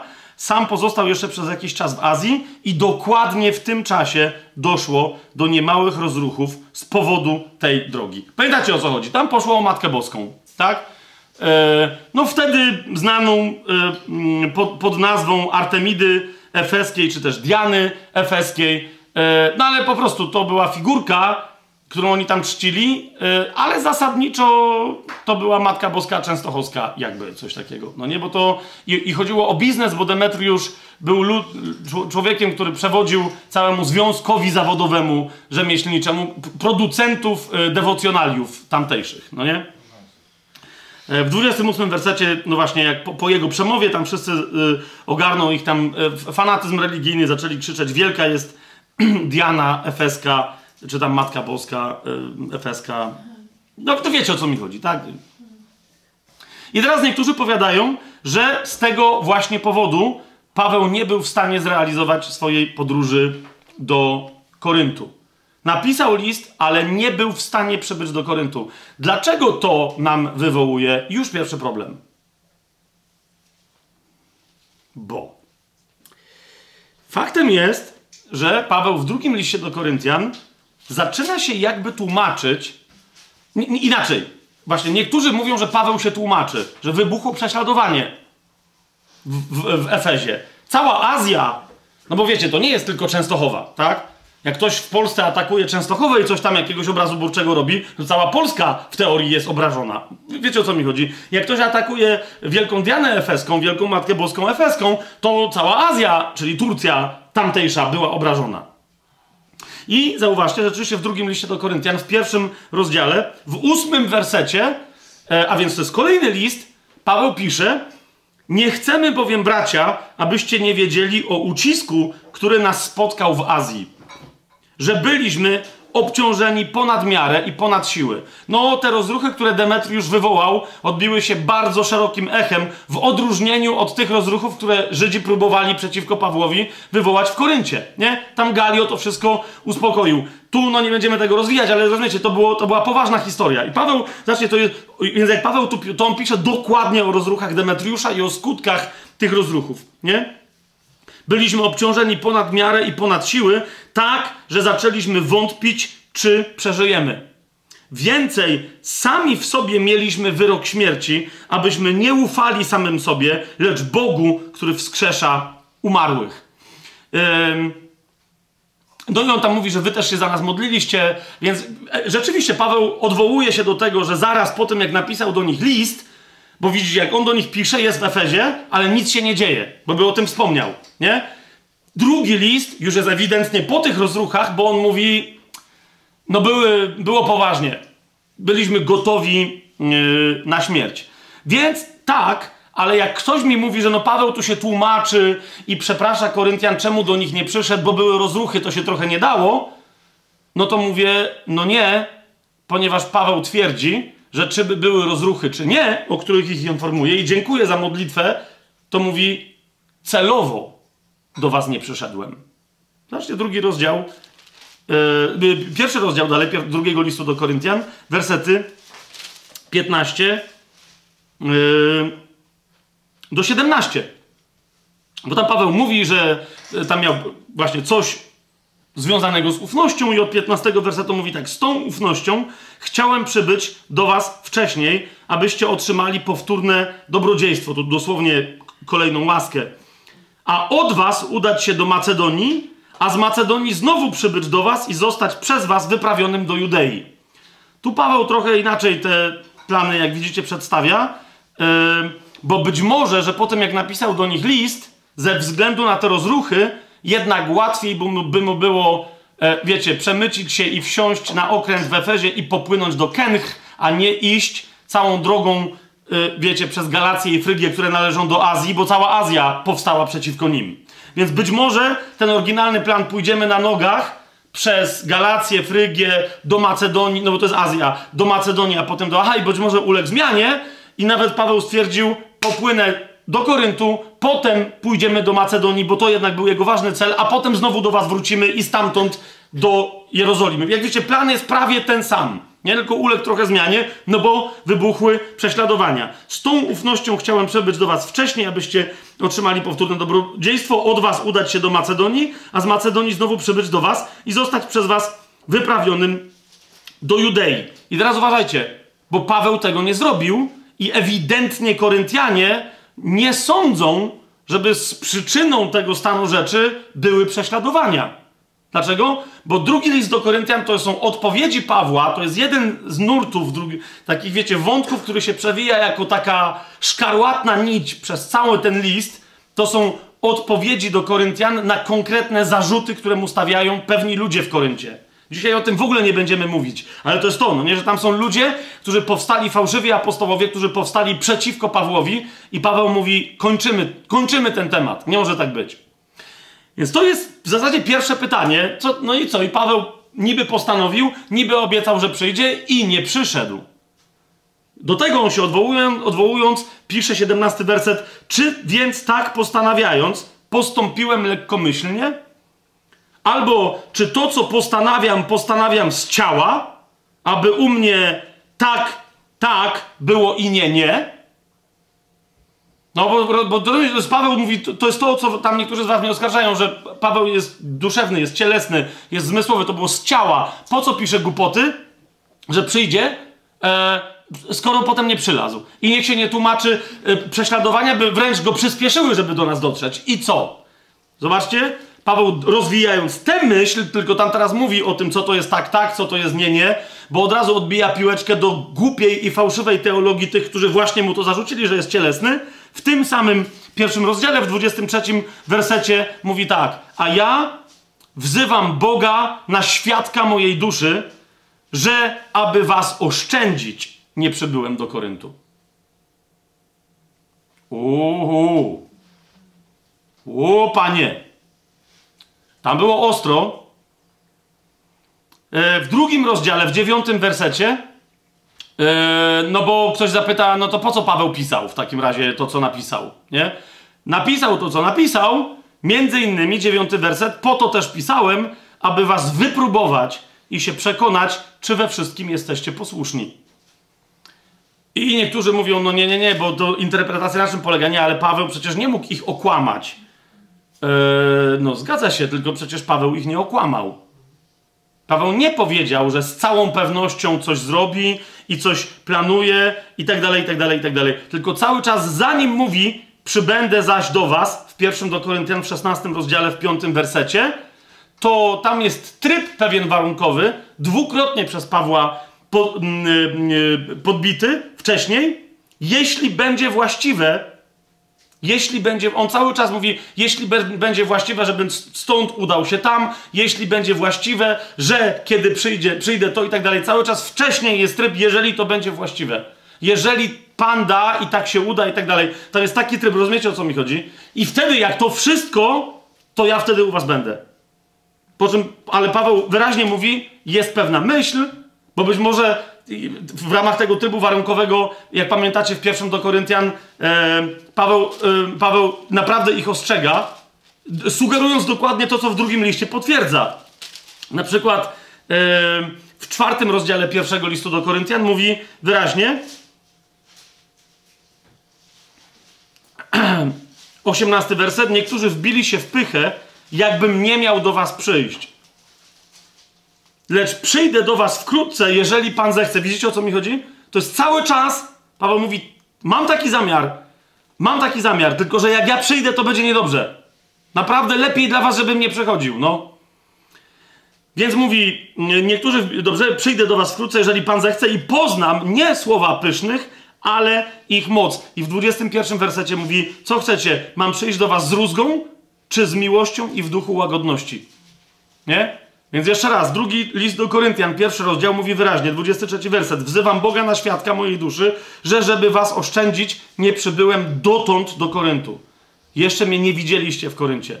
Po drugie, Paweł mówi, po to też pisałem, drugi rozdział yy, drugiego do Koryntian, dziewiąty werset, po to też pisałem, aby was wypróbować i się przekonać, czy we wszystkim jesteście posłuszni. Nie Bo wiecie, łatwo być posłusznym, jak przyjdzie mocny apostoł i po prostu, wiecie o co chodzi, walnie pięścią w stół i powie, zaraz, co jest grane? I wtedy wszyscy chodzą, nie? Ale on mówi, czy jesteście posłuszni Panu przez moje słowo? I po trzecie, yy, na początku drugiego rozdziału Paweł powiada również, że nawet jakby musiał iść, to bardzo nie chciał iść w celach, w których by musiał iść. Mianowicie, postanowiłem to sobie, powiada w pierwszym wersecie, aby nie przychodzić do was znowu w smutku. Nie? Czyli najwyraźniej poprzednie, e, poprzednia bytność Pawła w Koryncie tak bardzo była związana, czy w każdym razie pojawienie się w Koryncie, tak bardzo było związane, wiecie, z stanem e, pewnym, emocjonalnym i duchowym, że on nie chciał drugi raz to samo, a tym, tylko że tym razem chodziło nie o to, że go zasmucili na przykład Ateńczycy, tylko że sami Koryntianie go zasmucili. Nie? Yy, I jeszcze stwierdzili, że to on ich zasmuca, bo do nich takie smutne listy pisze, nie? Więc drugi werset, co jest dzisiaj znowu z, z, Madzią, z moją żoną, żeśmy rozmawiali, yy, że naprawdę czasem niektórzy powinni dla w ogóle precyzji nauczenia się myślenia Ducha Świętego, czyli żydowskiego, oryginalnego hebrajskiego myślenia, powinni się zatrzymać nad takim wersetem jak werset drugi i się zastanowić, czy aby dobrze rozumieją, co tu jest napisane. Jeżeli bowiem ja was zasmucam, to jest kolejny raz Paweł mówi, że ja bym do was przyszedł smutny. A to jest co? To jest sugestia, ale wy tymczasem twierdzicie, że to wy jesteście smutni. To zauważcie, jaka jest jego odpowiedź. Jeżeli bowiem ja was zasmucam, to któż może mnie rozweselić, jeżeli nie ten, którego ja zasmucam? Przyjrzyjcie się dobrze temu zdaniu, co Paweł tu wyprawia. Bo ja myślę, że Koryntianie, znając Pawła, zatrzymali się tu i stwierdzili: O ja cię. Jak nie widzicie tutaj groźby i wyjaśnienia, że jak Paweł jakby przyszedł, to on miał wszystkie moce po temu, żeby oni przestali twierdzić, że oni są smutni, a żeby zaczęli jego rozweselać. Nie? To jest, y, to jest to genialnie tutaj wyrażone. Nie? Aha, czyli ja was zasmucam. No to skoro was zasmucam, to mnie teraz rozweselcie. To, to jest dokładnie, Paweł mówi, nie? Jak ktoś się zaczyna targować, a nie ma po co, nie ma mocnego punktu wyjścia i nie obczaja, że się targuje z Żydo-Ormiano-Chińczykiem. Nie? Ten mówi, ile to kosztuje 100 zł. Ten mówi, może 90, yy, 110, 80, 120. Rozumiesz, no jaki masz punkt wyjścia do negocjacji z Pawłem, jak jesteś w Koryncie? Tak? Więc Paweł powiada, że celowo nie przyszedł. Rozumiecie? E, jak, ale, ale właśnie, jak żeśmy doszli do momentu, bo cały czas się pytamy, kiedy Paweł napisał drugi list do Koryntian, tak? To mam do was kolejne pytanie, bo nie wiem, czy widzicie, jak z tej ewidentnej celowości wynika jeszcze większy problem. Dobra, niektórzy widzą, niektórzy nie, inni smukają. Otóż, kochani, Paweł, jak zaczyna cały ten wątek, że nie przyszedł, czemu nie przyszedł, mimo że pisał, że przyjdzie w poprzednim liście, zauważcie jeszcze raz, że powiada, 23 werset pierwszego rozdziału, wzywam Boga na świadka mojej duszy, że aby was oszczędzić, nie przybyłem dotąd do Koryntu. Odkąd? Od momentu, jak wam napisałem, że przyjdę, aż dotąd. A zatem od momentu, kiedy Paweł napisał pierwszy list, teraz pisze drugi, nadal nie było go w Koryncie. Zgadza się? Halleluja! Dlaczego? To jest problem? Otwórzcie sobie drugi list do Koryntian, 12, wers, 12 rozdział, przepraszam, 14 werset. Bo Paweł pisze: Oto po raz trzeci jestem gotów przybyć do was. What? Oto po raz trzeci jestem gotów przybyć do was, pisze Paweł, a dalej w trzynastym y, rozdziale powtarza, jakby ktoś miał wątpliwość, oto teraz po raz trzeci idę do was. Paweł mówi. Mhm. Czemu to stanowi problem? No bo jest pytanie, zaraz, o jednym przybycie Pawła, przybyciu Pawła do Koryntu wiemy. Z Aten, zgadza się? I teraz wygląda na to, że Paweł, jak przybył do Koryntu z Aten i potem wybył z Koryntu, napisał pierwszy list do Koryntian. No nie do końca. tak? Nie do końca, bo on pisał pewne listy do Koryntian, oni mu odpisywali, ale w każdym razie po wybyciu z Koryntu Paweł pisał ten list, który my znamy jako pierwszy i wygląda na to z pierwszego listu, że był tam tylko raz. Kiedy? Ano wtedy, kiedy tam przyszedł z Aten. Tak? Bo w pierwszym do Koryntian, w drugim rozdziale, pierwszym wersecie czytamy i ja, bracia, gdy do was przyszedłem, nie przybyłem z wzniosłością mowy lub mądrości, głosząc wam świadectwo Boga. Postanowiłem bowiem nie znać wśród was niczego innego, jak tylko Jezusa Chrystusa i byłem u was w słabości, w bojaźni i z wielkim drżeniem. To jest przyjście Pawła do Koryntu z Aten. Zgadza się? A więc Paweł w tym liście odwołuje się do tej jednej konkretnej wizyty, którą złożył, po której został Koryncie. Zgadza się? To teraz, kochani, jeżeli Paweł pisze w drugim liście do Koryntian, że trzeci raz wybiera się do Koryntu, a w pierwszym liście do Koryntian odwołał się do swojej pierwszej wizyty, to znaczy, że między pierwszym listem do Koryntian a drugim listem do Koryntian był w Koryncie. Zgadza się? I teraz, yy, I teraz ja się uśmiecham i teraz tak, no nie. Yy, no jest na przykład John MacArthur, jeden z takich głośnych, wciąż żyjących dzisiaj cesacjonistycznych, ale bardzo dobrych komentatorów Biblii, żeby nie było. I on dokładnie obstaje przy tej teorii, że pomiędzy pierwszym a drugim listem do Koryntian Paweł był w Koryncie, Paweł był w Koryncie, i miał przybyć po raz trzeci. Tak? Tylko, że wtedy moje pytanie brzmi: no to jak był, to czemu odwołuje się do zapowiedzi z pierwszego listu i mówi, że cały czas jej nie zrealizował? To jest moje pierwsze pytanie. To wiecie o co idzie? Teraz drugie, jeżeli Paweł był w Koryncie, to, yy, to, bo niektórzy mówią, że no w związku z tym zwróćcie uwagę, jest taki e, w drugim liście do Koryntian, drugi rozdział. Tam Paweł wyraźnie mówi o pewnym człowieku, któremu została wymierzona kara w Koryncie. I Paweł mówi, że dobrze zrobiliście i dajcie już mu spokój. Ja jemu przebaczyłem, wszyscy mu przebaczyli. Teraz, jeżeli Pawła nie było w Koryncie, między pierwszym a drugim listem, to bardzo łatwo wywnioskować, o kogo to chodzi. Bo to jest ten zawodnik z piątego rozdziału pierwszego listu do Koryntian. Pamiętacie, tak? Jak nie pamiętacie, no to chodzi o tego kazirodce, tak? Zobaczcie, drugi rozdział drugiego listu do Koryntian. Yy...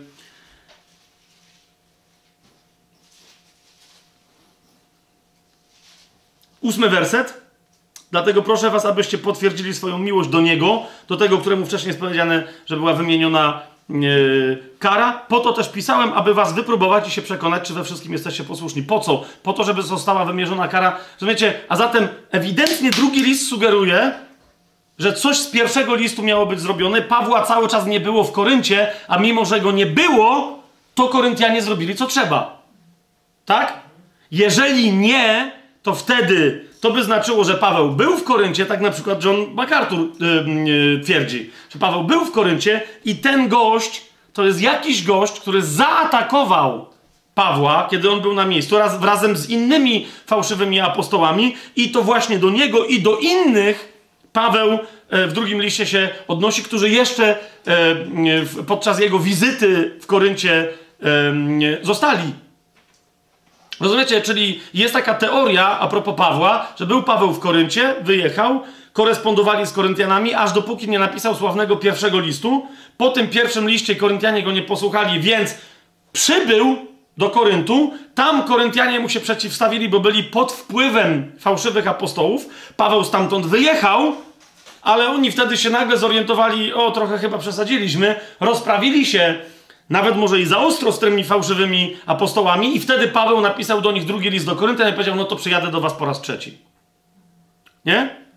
Tylko, tylko, po pierwsze, my wtedy nie zrozumiemy na przykład drugiego rozdziału, rozumiecie? Po drugie, yy, inne fragmenty drugiego listu do Koryntian, a propos fałszywych apostołów i tak dalej, odbierzemy jako osobiste skarżenie się Pawła, że został źle potraktowany i tak dalej, i tak dalej. I rozumiecie, mamy zdeformowane możliwości interpretacyjne dla całego drugiego listu. Nie wiem, czy to widzicie, to jest, bo to wtedy wyjdzie rzeczywiście chaos i jeszcze z Pawła wyjdzie jakiś dziwny płaczek, którym on nie jest w tym liście w ogóle. No ale wtedy, tylko że jeszcze raz, będziemy też mieli pewne problemy interpretacyjne, takie stricte rzeczowe.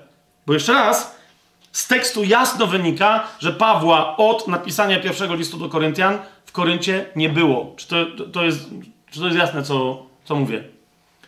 Niektórzy powiadają, że no, no, nie, ale no kiedy, no to kiedy Paweł miał napisać ten drugi list do Koryntian? On musiał odwiedzić yy, Korynt, kiedy już wybył z Efezu. No wiecie, on tak po prześladowaniu musiał zostawić Efez. Więc niektórzy powiadają, że chodzi o kluczem do zrozumienia, co się tu dzieje i co się tu wyprawia, jest Troada. To jest dowód biblijny na to, że naprawdę Paweł pomiędzy pierwszym a drugim listem odwiedził Achaję, a potem odwiedził Troadę i napisał do nich list. Yy, w drugim liście do Koryntian, w 12 rozdziale, rzeczywiście Paweł mówi, że był w Troadzie. Zauważcie, to jest drugi do, Koryntian 12 rozdział.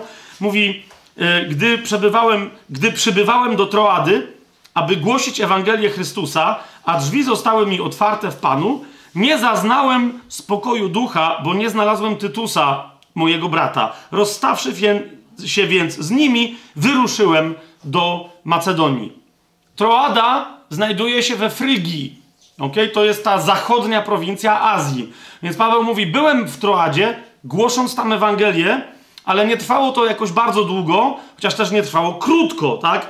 Musiałem to przerwać, bo byłem zaniepokojony, co się dzieje z Tytusem, i wyruszyłem do Macedonii, a więc wyruszyłem na zachód z Azji. To Paweł mówi w drugim liście do Koryntian, tak? I niektórzy powiadają, no, czy nie wygląda ci to na 20 rozdział dziejów apostolskich? Prawda? Czyli jesteśmy już po prześladowaniach w Efezie. To jest 20 rozdział dziejów apostolskich. Zobaczcie od, yy, od pierwszego wersetu. A gdy ustały rozruchy, gdzie? W Efezie, Paweł przywołał uczniów, pożegnał się z nimi i wyruszył do Macedonii. Przeszedł tamte okolice, udzielając wielu napomnień, potem przybył do Grecji. Czyli Macedonia, Filipi, Grecja, co by to było? Korynt. I niektórzy mówią, no, no to, to, no to, nie, niektórzy, wielu bardzo mówi, no to to jest ten moment, tak? Paweł odwiedził Koryntian. To nie była dobra wizyta. Opuścił Korynt, czyli opuścił Achaję, udał się do y, Troady, między innymi. No i potem po Troadzie napisał list, bo wyraźnie mówi, że już był w Troadzie. Zgadza się? Mamy to? Czyli on mówi, no więc był w Grecji osobiście. Dalej, kiedy po trzymiesięcznym pobycie zamierzał odpłynąć do Syrii, y, skąd? Z Grecji. Tak, zamierzał odpłynąć więc w stronę Damaszku. Co, wiecie, z Kenchry, Damaszek, pamiętacie? To była obcykana, że tak powiem, trasa, yy, o której, na którą między innymi podróżował z Pryską i za chwilą, tak? Więc kiedy po trzymiesięcznym pobycie zamierzał odpłynąć do Syrii, Żydzi urządzili na niego zasadzkę, więc postanowił powrócić przez Macedonię. E, zaraz, powoli. Czyli w momencie, kiedy był rzekomo w Koryncie, bo zauważcie, że ta Grecja tutaj. Okej, okay, ale nawet jeżeli był w Koryncie, Paweł się nie udał w stronę Azji, nie udał się w stronę Syrii, ale wrócił do Macedonii. Zauważyliście to? Teraz idziemy dalej. Razem yy, z nim do Azji, a więc widzimy, że Paweł wyruszył do Azji, czyli do Frygii, czyli do Troady frygijskiej. Chciał wyruszyć nie statkiem, ale na nogach przez Macedonię. Razem z nim do Azji wyruszyli Sopater z Berei, z Tesaloniczan Arystarch i Sekundus, i Gaius z Derbe, i Tymoteusz, a z Azji Tychikus i Trofim. Ci poszli pierwsi i czekali na nas w Troadzie. Zatem, czego się dowiadujemy? Że Paweł dotarł do Troady, a więc do Frygii, przez Macedonię, razem z całą tą ekipą. Łukasz, który był z inną ekipą, to już teraz nie chcę mieszać dodatkowo z jaką on był ekipą, bo zauważcie, że jego nie ma z Pawłem. No mówi, Paweł z tą ekipą poszedł. A my, więc jak widzicie, nie zawsze tam, gdzie jest my, tam jest Paweł w dziejach apostolskich, tak? Mówi, a my po święcie prześników odpłynęliśmy z Filipi. Filipi to jest Macedonia i po pięciu dniach przybyliśmy do nich, do Troady gdzie spędziliśmy 7 dni. E, gdzie widzicie tutaj, że Paweł w Troadzie głosi Ewangelię? To jest po pierwsze. Po drugie, Troada jest tu już z dawien dawna nawrócona. Po trzecie, Paweł tu yy, nie dość, że jest bardzo krótko, to, za, to załatwia sprawę, że się tak wyrażę, wewnątrz kościelne. Nie? Zobaczcie, co się, co się dzieje. Pierwszego dnia po szabacie, gdy uczniowie zebrali się na łamaniu chleba, siódmy werset, Paweł, który miał nazajutrz odjechać, przemawiał do nich, przeciągnął mowę aż do północy w sali na piętrze. Pamiętacie, tam ten chłop spadł yy, z, okna, zabił się, Paweł go wskrzesił. I teraz, co w tym wszystkim jest istotne? Że Paweł z Troady, a więc z Frygii, w tym konkretnym przypadku nie wyrusza z powrotem do Macedonii. On tu z tej Macedonii przyszedł, żeby iść dalej. Czy to jest jasne, co ja gadam teraz? Nie? Więc on tutaj, zobaczcie, my zaś, 13 werset, wsiadłszy wcześniej na statek, popłynęliśmy do Assos, skąd mieliśmy zabrać Pawła. Tak bowiem postanowił, sam chcąc iść pieszo. Więc oni popłynęli do Assos, ale on poszedł do Assos. Assos już nieważne gdzie jest, ale to nie jest Macedonia. Więc rozumiecie, kiedy Paweł pisze o tym, że był kiedyś w Troadzie, głosząc tam Ewangelię, a potem poszedł do Macedonii, to nie jest ten fragment. Czy to jest yy, jakoś zrozumiałe? Dla to jest, wiecie, to bardzo łatwo pokazać. To jest Macedonia, jest Troada wymieniona, no, tylko są też miejsca, gdzie Troada nie jest wymieniona, ale jest oczywistym centralnym ośrodkiem, tak jak tu też nie ma wymienionego Koryntu wcale, a jakoś niektórzy twierdzą, że skoro Grecja, to Korynt. Zwłaszcza, że skoro Macedonia, to Filipi. Ja się zgadzam. Skoro Macedonia, to Filipi. Skoro Grecja, czyli Achaja, to Korynt. Paweł tu był, ale niektórzy mówią i on po tej wizycie dopiero ok, napisał do nich list. Nie. Myślę, że nie. Otwórzmy sobie drugi list do Koryntian.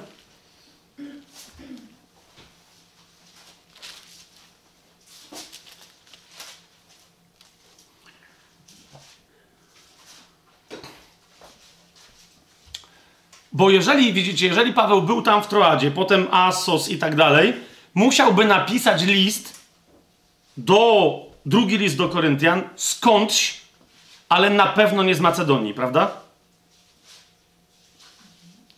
No, zgodzicie się ze mną, czy, czy nie bardzo? Musiałby napisać skądś, ale nie z Macedonii, bo już go potem nie ma w Macedonii.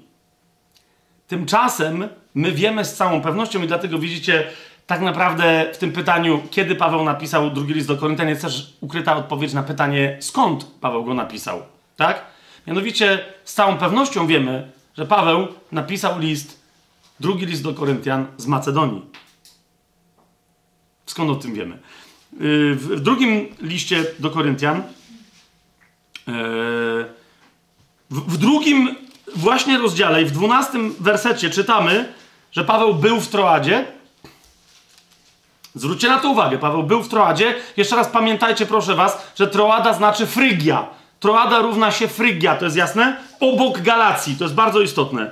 I z tej Troady, gdzie Paweł mówi, że głosił Ewangelię, widzicie, aby głosić Ewangelię Chrystusa, a drzwi zostały mi otwarte w Panu. Czyli co to jest? Pierwsze głoszenie Ewangelii. Czy się zgodzicie ze mną, czy nie? Bo potem drzwi są... No właśnie, więc on mówi, że nie zaznałem tam wtedy spokoju ducha, bo nie znalazłem Tytusa, mojego brata, rozstawszy się, więc z nimi wyruszyłem do Macedonii. Paweł się odnosi tu do pewnej historii, tak? E, I teraz ona jest... Niektórzy mówią, bo, bo może tu mamy dowód, że Paweł pisze z Macedonii. Tak! To jest historia, w ramach której Paweł z Frygi przeniósł się do Macedonii, ale dowód na to, tu nie ma tego dowodu według mnie stuprocentowego. Stuprocentowy dowód na to, że Paweł pisze teraz, w tym momencie, kiedy on pisze, że jest w Macedonii, znajduje się w dziewiątym rozdziale. Mianowicie tam Paweł yy, od wersetu drugiego mówi tak. Yy, kiedy mówi, yy, pisze do Koryntian, bo to jest ten jeden z najmocniejszych rozdziałów o pieniądzach w Biblii. I Paweł tutaj pisze do Koryntian o, o, o zbiórce na ubogie kościoły. I mówi im tak w drugim wersecie: Znam bowiem waszą gotowość, z powodu której wobec Macedończyków chlubię się wami. I teraz co jest istotne? Tutaj w języku greckim Paweł posługuje się określeniem, które w języku angielskim e, to byłby e, present e, continuous. Czyli, czyli ja to teraz, w tym momencie, właśnie w trak jestem w trakcie robienia tego, kiedy do was piszę. Nie? I am being proud in front of them. Jestem, chlubię się, jestem, właśnie demonstruję swoją chlubę wobec Macedończyków. To jest dokładnie to. E, znam bowiem waszą gotowość, z powodu której wobec Macedończyków chlubię się wami, że Achaja, no, czyli Korynt, jest gotowa od zeszłego roku i wasza gorliwość tutaj pobudziła wielu. I dodatkowo w czwartym wersecie, no bo mówi, że tak się chlubi, nie? Że mówi, żebyśmy, jeśli przypadkiem przybyliby ze mną Macedończycy, no, czyli tak, stąd skąd wyruszę, i zastali was nieprzygotowanymi, nie, żebyśmy nie byli zawstydzeni my, żeby nie powiedzieć wy za tak śmiałe przechwalanie się moje tutaj teraz. Rozumiecie o co mi chodzi? Więc jest całe trzy wersety, w ramach których Paweł parokrotnie podkreśla, że jest w Macedonii, mówi do Macedończyków, chwali się przed Macedończykami. Obczajacie w ogóle, co jest grane, tak? Bo to jest trochę tak, jakby kibic Krakowi przyszedł nas, wiecie, do, do chuliganów Wisły i zaczął się yy, przechwalać im, jak dobrze są yy, yy, kibice Krakowi w zbieraniu pieniędzy i że oni też powinni jakby być tym zainspirowani. Rozumiecie o co mi chodzi? Z mówi, naprawdę to jest z mojej strony tu trochę hamstwo, no ale wiadomo, to jest kościół, to nie są kibice, to jest wiecie, nacjonalizmy pewne, te starożytne tam funkcjonowały. Aleksander był macedoński, nie achajski. Mimo, że każdy wie, no, Grek to Grek, tam Macedonia, Achaja, co wy tam macie za rozróżnienia, ale, ale mieli. Więc jak on w tej Macedonii przeciwko, nie przeciwko, ale żeby Achaje pobudzić ich tam wszystkim naraz, wszystkich naraz zainspirować, wiecie, do Bożego współzawodnictwa, to ale przez to my się też dowiadujemy, gdzie Paweł jest, do kogo mówi i jeżeli przyjdzie do Achai, to skąd? Jeszcze raz, skąd przyjdzie do Achai? Z Macedonii. Z Mace... To, że był w Troadzie, to, to jest historia z drugiego rozdziału. Jak zauważycie, co się tam dzieje, on się do niej odnosi z bardzo istotnego powodu. Tak? Z powodu mianowicie historii tego mężczyzny, o którym Paweł w piątym rozdziale pierwszego listu do Koryntian pisał, tego kazirodcy, z którym Koryntianie, pomimo nieobecności Pawła, sobie poradzili, może nawet zbyt surowo, i Paweł im tłumaczy, że okej, okay, przebaczcie mu, ja mu też przebaczyłem, bo nie są nam nieznane zasadzki, podstępy złego i powołuje się na pewną swoją sytuację z Troady, z której musiał zrezygnować, żeby szukać Tytusa e, właśnie w Macedonii. Ale to nie ma za wiele wspólnego, a jeżeli ma, to o tym za chwilę, nie? Natomiast my wiemy jedno, że Paweł jest w Macedonii i z Macedonii przychodzi do Koryntu yy, i taki jest jego plan opisany w drugim, w drugim liście do Koryntian. Czy, yy, czy widzicie, co się dzieje? I, a więc 20 rozdział, powiedziałbym, ma troszeczkę, ma bardzo dużo, ma bardzo dużo yy, do powiedzenia w tym temacie, kiedy Paweł pisał list drugi do Koryntian, ale to nie jest ta interpretacja, że po tym, jak już był, że potem, jak już był w Troadzie. Skąd pisze Paweł z tej Macedonii, jeszcze tylko dodam, no skoro pisze, że w Macedonii z Macedończykami i tak dalej, to, no to z Filipi. A jeżeli jest w Filipi, no to wiecie u kogo jest, tak? E, u tej pani, którą mu Duch Święty przedstawił jako chłopa z brodą, tak? E, jako Macedończyka. A to nie jest żaden chłop z brodą, jest elegancka pani. Zresztą, e, wiecie, będąc czy to u Tesaloniczan,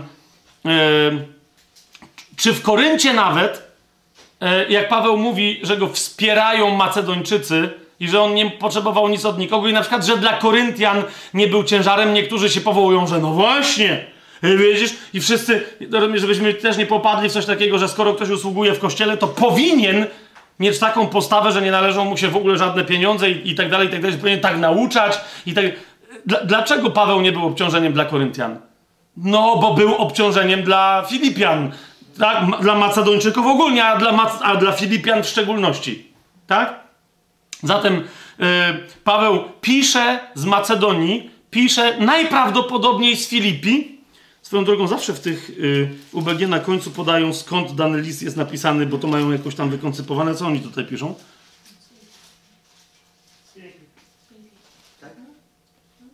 Halleluja! To się, czyli tu ktoś się dobrze zorientował w sytuacji. Drugi list do Koryntian został napisany z Filipi, miasta Macedonii przez Tytusa i Łukasza. Eee, no, ale to widzicie, ten, kto tak uważa, na pewno nie uważa, e, że Paweł po Troadzie z 20 rozdziału dziejów apostolskich pisał, a że między pierwszym a drugim listem, że miał środkową jakąś wyprawę do Koryntu, bo nie miał.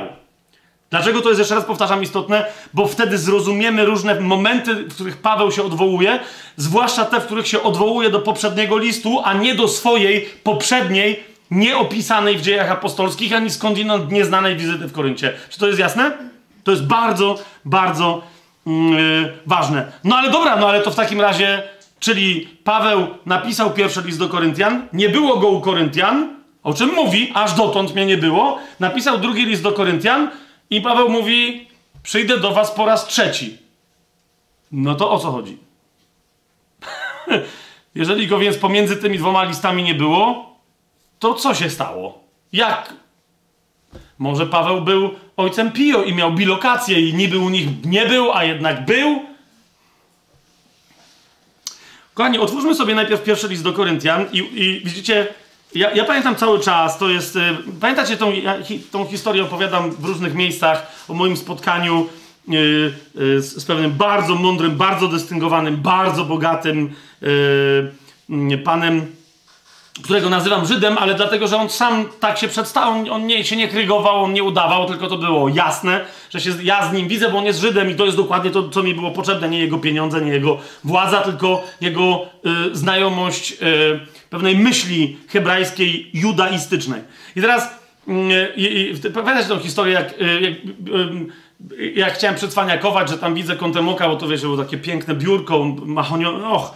I w każdym razie tam on miał ustawione w takim amerykańskim skądinąd stylu zdjęcia swoich bliskich czy kogo tam. Ja to niedokładnie widziałem, ale wiecie, bo one były zwrócone do niego, one miały jego na tym biurku inspirować, a nie jego gości, tak? Niemniej, ja tam gdzieś tam się przechyliłem, coś tam, żeby coś położyć i kątem oka zobaczyłem. Jak zobaczyłem, to mu mówię, tak się podnosząc, żeby wyszło, że jestem spostrzegawczy i że mhm, mhm. I mówię do niego, o, bo widzę, że tu pan żonę swoją ma. I on tak spojrzał i mówi, nie, to jest jej zdjęcie. Yy, no ja wiem, że zdjęcie, ale tak się mówi to jest, jedno, to jest cały czas powracająca lekcja. Dlaczego tak się mówi? Jak się jest głupim, to się tak mówi. To nie była jego żona, to było jej zdjęcie. Odezwałem się jak kretyn, umówmy się. Mamy być bardzo precyzyjni, dlatego w naszej komunikacji codziennej, w kościele, wszędzie mamy być bardzo precyzyjni, co kto ma na myśli, a nie, że tak się mówi. Ale co się mówi? Co ty teraz mówisz? Co ty komunikujesz? Co? Więc, więc, mam do was jedno pytanie. Mam do was jedno pytanie. Eee, Skąd my niby wiemy? Bo zauważcie, ja to wam powiedziałem i wszyscy kiwali głowami i tak jest, teraz nie, nie, wy się tu przecież nie obrażacie, tak, ale tak jest z, z całą masą egzegetów, oni dokładnie tak robią, kiwają głowami, ale gdzie niby, skąd my mamy informację, że przed napisaniem pierwszego listu do Koryntian Paweł w Koryncie był tylko raz? Nie? Skąd my mamy? Dlaczego? No bo Paweł pisze w pierwszym do Koryntian w drugim rozdziale, ja bracia, gdy do was przyszedłem, nie przybyłem i tak dalej, postanowiłem, byłem i te... No świetnie, ale to co to, ale zaraz. Przecież tu nie ma napisane, ja bracia, gdy u was ostatnio byłem. Nie wiem, czy zauważyliście. To by znaczyło, że to odniósł się do ostatniej swojej, co, na, co nawiasem mówiąc, nadal by nie oznaczało, że wcześniej nie był, ale gdyby napisał, ja bracia, gdy u was po raz pierwszy i ostatni byłem, a no to byśmy mieli jasność. No to czyli w takim razie po pierwszym liście do Koryntian musiałby być drugi raz, ale, ale Paweł tak nie napisał. On się tylko odniósł do tego, że kiedy przybył, kiedy się pojawił, kiedy się. Z, rozumiecie, to, to chodzi o ewidentnie pierwsze przyjście Pawła. Teraz e, ewidentnie Paweł sugeruje, w drugim liście do Koryntian, że nie chciał do nich przychodzić drugi raz, jak za pierwszym razem w smutku, tak za drugim razem w nerwach. Tak czy siak, w nie najlepszym nastroju. Nie? Więc dlatego mówi, e, że nie chciałem do was przychodzić, ale, ale jaki? Który raz? trzeci nie chciałem do was przychodzić, trzeci dopiero przyjdę. Czyli to znaczy, że Paweł był raz z Aten, no to wiemy, ale drugi raz był ewidentnie też w nie najlepszym nastroju. Tak? W nie najlepszym nastroju. I mówi, dlatego, pisząc ten drugi list, mówi, ja nie chciałem do was jeszcze, żeby trzeci raz do was przychodzić i znowu, żeby była teraz w was, żeby był powód. Nie? Zauważcie, nie chciałem znowu do was przychodzić. Tam jest taka sugestia, to nie było raz. Nie? Co z tą y, trzecią wizytą? E, po pierwsze, Paweł w, w pierwszym do Koryntian nie mówi, ile razy był w Koryncie, a że się odnosi do swojego pierwszego przyjścia, to, no to wszystko gra, bo się do niego chciał odnieść, e, że od samego początku tam mu chodzi, e, a nie, że ostatnio jak był, ale że od samego początku, od pierwszego pojawienia się w Koryncie, głosi Chrystusa ukrzyżowanego. Tak? Po drugie, e, drugi raz, i to jest istotne, być może, takie, takie mam pytanie, być może, bo Paweł wydaje się być niezwykle ale to niezwykle zaprzyjaźniony z Apollosem, a jak my już sobie dzisiaj to wyjaśniliśmy, e, te opowieści, że on się zaprzyjaźnił z Apollosem, Upryski i Akwili są niemożliwe, bo ich tam nie było jednocześnie w tym samym czasie, w tym domu. Jasne, niektórzy mówią, no ale ten był przyjacielem tego małżeństwa i ten też, i to dla... Ej, nie? Twoi przyjaciele są moimi przyjaciółmi. No, no, jest taka zasada w Biblii. Przestań. Co to jest? Y, są samuraje w Japonii? No daj spokój. Więc nie. E, ja osobiście, a, a my tymczasem, znowu nie ma tego wiele, ale widać, że Paweł bardzo szanuje Apollosa. Co więcej, że ma jakąś, jakiś osobisty afekt do niego. On go naprawdę, rozumiecie, on go naprawdę lubi, on go szanuje i chce, żeby inni też darzyli go takimi uczuciami. Bodaj e, w liście do mm, Tytusa, jak go sobie otworzymy. Yy...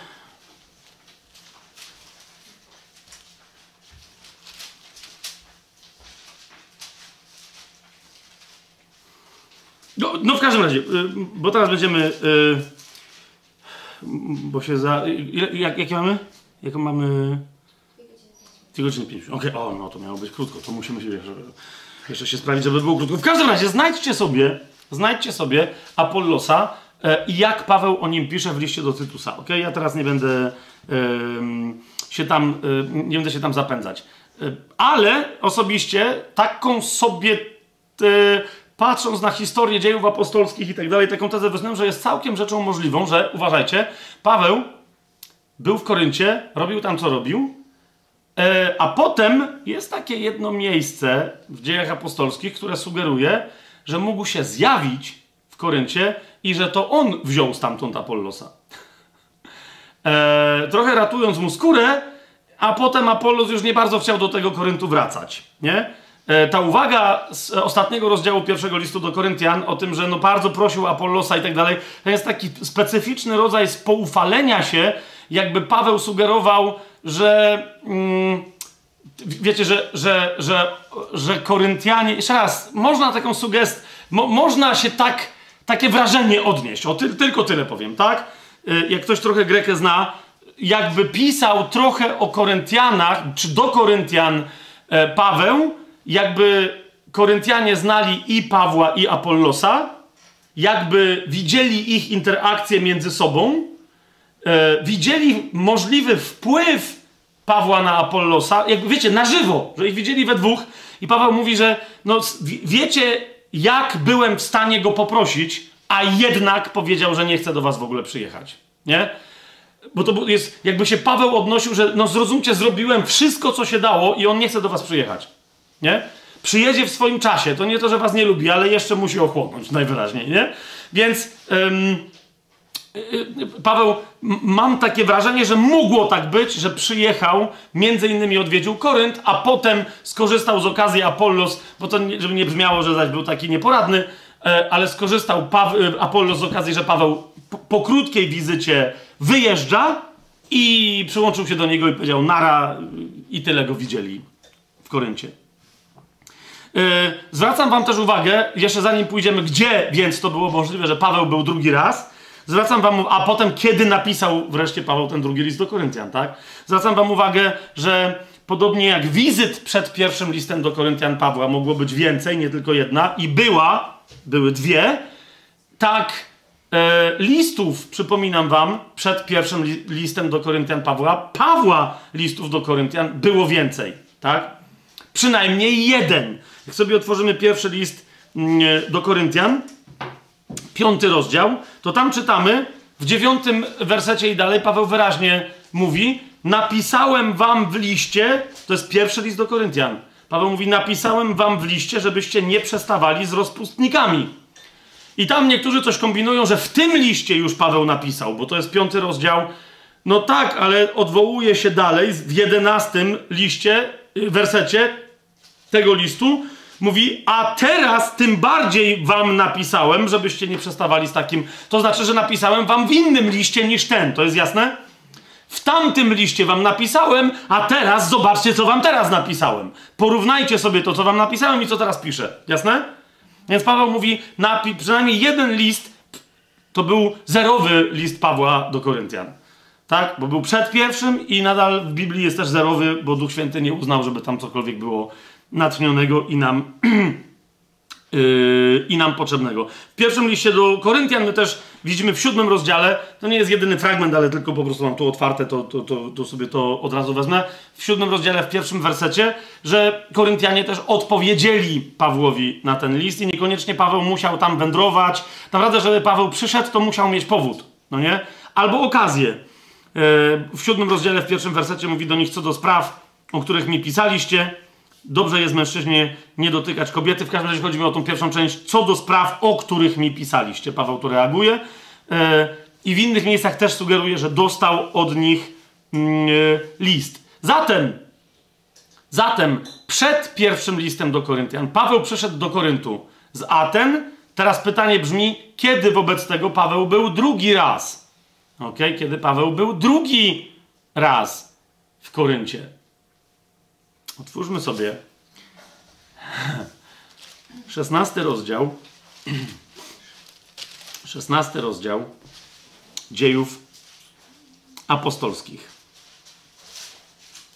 W tymże 16 rozdziale czytamy. Po pierwsze, na początku, zwróćcie uwagę, pojawia się powołanie Tymoteusza. Paweł, apostoł i Tymoteusz, brat. Nie? W 16 rozdziale pojawia się powołanie Tymoteusza, syna pewnej Żydówki. Dalej yy, czytamy, że w szóstym wersecie, to jest 16 rozdział, szósty werset, że Paweł z Tymoteuszem pojawili się we Frygii. Uwaga, Frygia, pamiętacie co wam powiedziałem, co równa się Frygia? Troada równa się Frygia. Ok? I teraz, kiedy przyszli do Frygii, Duch Święty zabronił im iść dalej. Przy, przyszli, e, przeszli Frygię, oni tam mogli przepłynąć, to teraz jest, e, no bo e, się tam dostali z Derby i z Listry, to już i z Ikonium, więc nie będziemy teraz jeszcze tej geografii tam rozważać, ale chodzi mi o to, że byli, byli we Frygii i to był prawdopodobnie moment, zgodzicie się ze mną, e, głoszenia, potężnego głoszenia w Troadzie. Tak? To był moment, kiedy głosili w Troadzie. Co się stało? Chcieli iść z Troady dalej, ok? Chcieli iść do, e, chcieli iść do e, Efezu w tamtym kierunku, czyli iść w Azję przez Galację do Efezu, ale to jest właśnie ten moment, kiedy pojawia im się Duch Święty i zabrania im iść w tamtą stronę, ale mówi im, żeby poszli do Azji. Nie, nie, nie do Azji, tylko do Macedonii. To jest moment, ewidentnie, 16 rozdział, 6 werset i dalej, kiedy Paweł z Troady udaje się do Macedonii. Zresztą zauważcie, 16 rozdział, 11 werset wyraźnie o tym mówi. Odpłynąwszy więc z Troady, zdążaliśmy wprost do Samotraki, a nazajutrz do Neapolu, stamtąd zaś do Filippi. Okej, okay, ale, ale dlaczego? Bo niektórzy mówią, no to widzisz, to nie popłynęli przecież do Macedonii, tak? Samotraka, Neapol, yy, no tak, ale oni taki mieli kurs, tak? bo nie było bezpośredniego Intercity. Taki mieli kurs dokąd? Do Filipi, głównego miasta tej części Macedonii. A więc z Troady wyprawa do Macedonii odbyła się tutaj. Ok? Yy, I według mnie, teraz jest pytanie, no dobrze, ale tu nie jest powiedziane, yy, yy, że, że, tu, że tu chodziło o Tytusa, że Paweł się niepokoił i tak dalej, i tak dalej. Do tego wątku jeszcze możemy wrócić, albo sami sobie podejmiecie to studium i zanim my wrócimy, to już będziecie wiedzieli. Ok? Co z kim, dlaczego się działo i o, i, i o co chodzi. Niemniej, sami widzicie, ok? że e, wyprawa, e, że wyprawa Pawła e, z, wyprawa Pawła z mm, Frygii do Macedonii ma nie tylko miejsce e, znaczy wręcz powiedziałbym, że nie ma miejsca w 20 rozdziale, ale ma tu miejsce. Tam było z Macedonii do Frygii, do Troady. Tu jest dokładnie to, o czym Paweł pisze. Z Troady, e, z Troady do, do Macedonii. No teraz jest pytanie, no dobrze, ale to znaczy, że wcześniej Paweł musiał być yy, w Grecji. No właśnie. I dlatego tam przy pewnych nazwach e,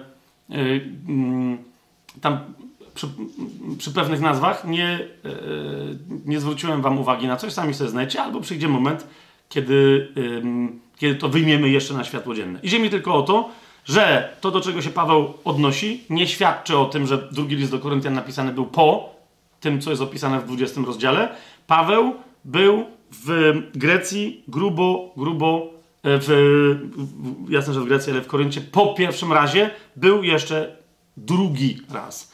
To się musi znajdować gdzieś pomiędzy jego byt, yy, bytnością w Koryncie. To jest 18 rozdział, widzicie to? To jest 18 rozdział. E, bo to, yy, kiedy on głosił Ewangelię w Troadzie, zanim jeszcze był w Koryncie pierwszy raz. To jest jasne? A więc pomiędzy jego pierwszą bytnością, 18 rozdział, a e, 20 rozdziałem, kiedy po raz kolejny jedzie do, do, do Troady e, i dalej, bo później już jest niemożliwe, żeby Paweł znowu był w Koryncie. Gdzie, jak, bo ja dzisiaj o tym już mówiłem, gdzie, jak sądzicie, jest moment, kiedy Paweł odwiedził Korynt po raz drugi?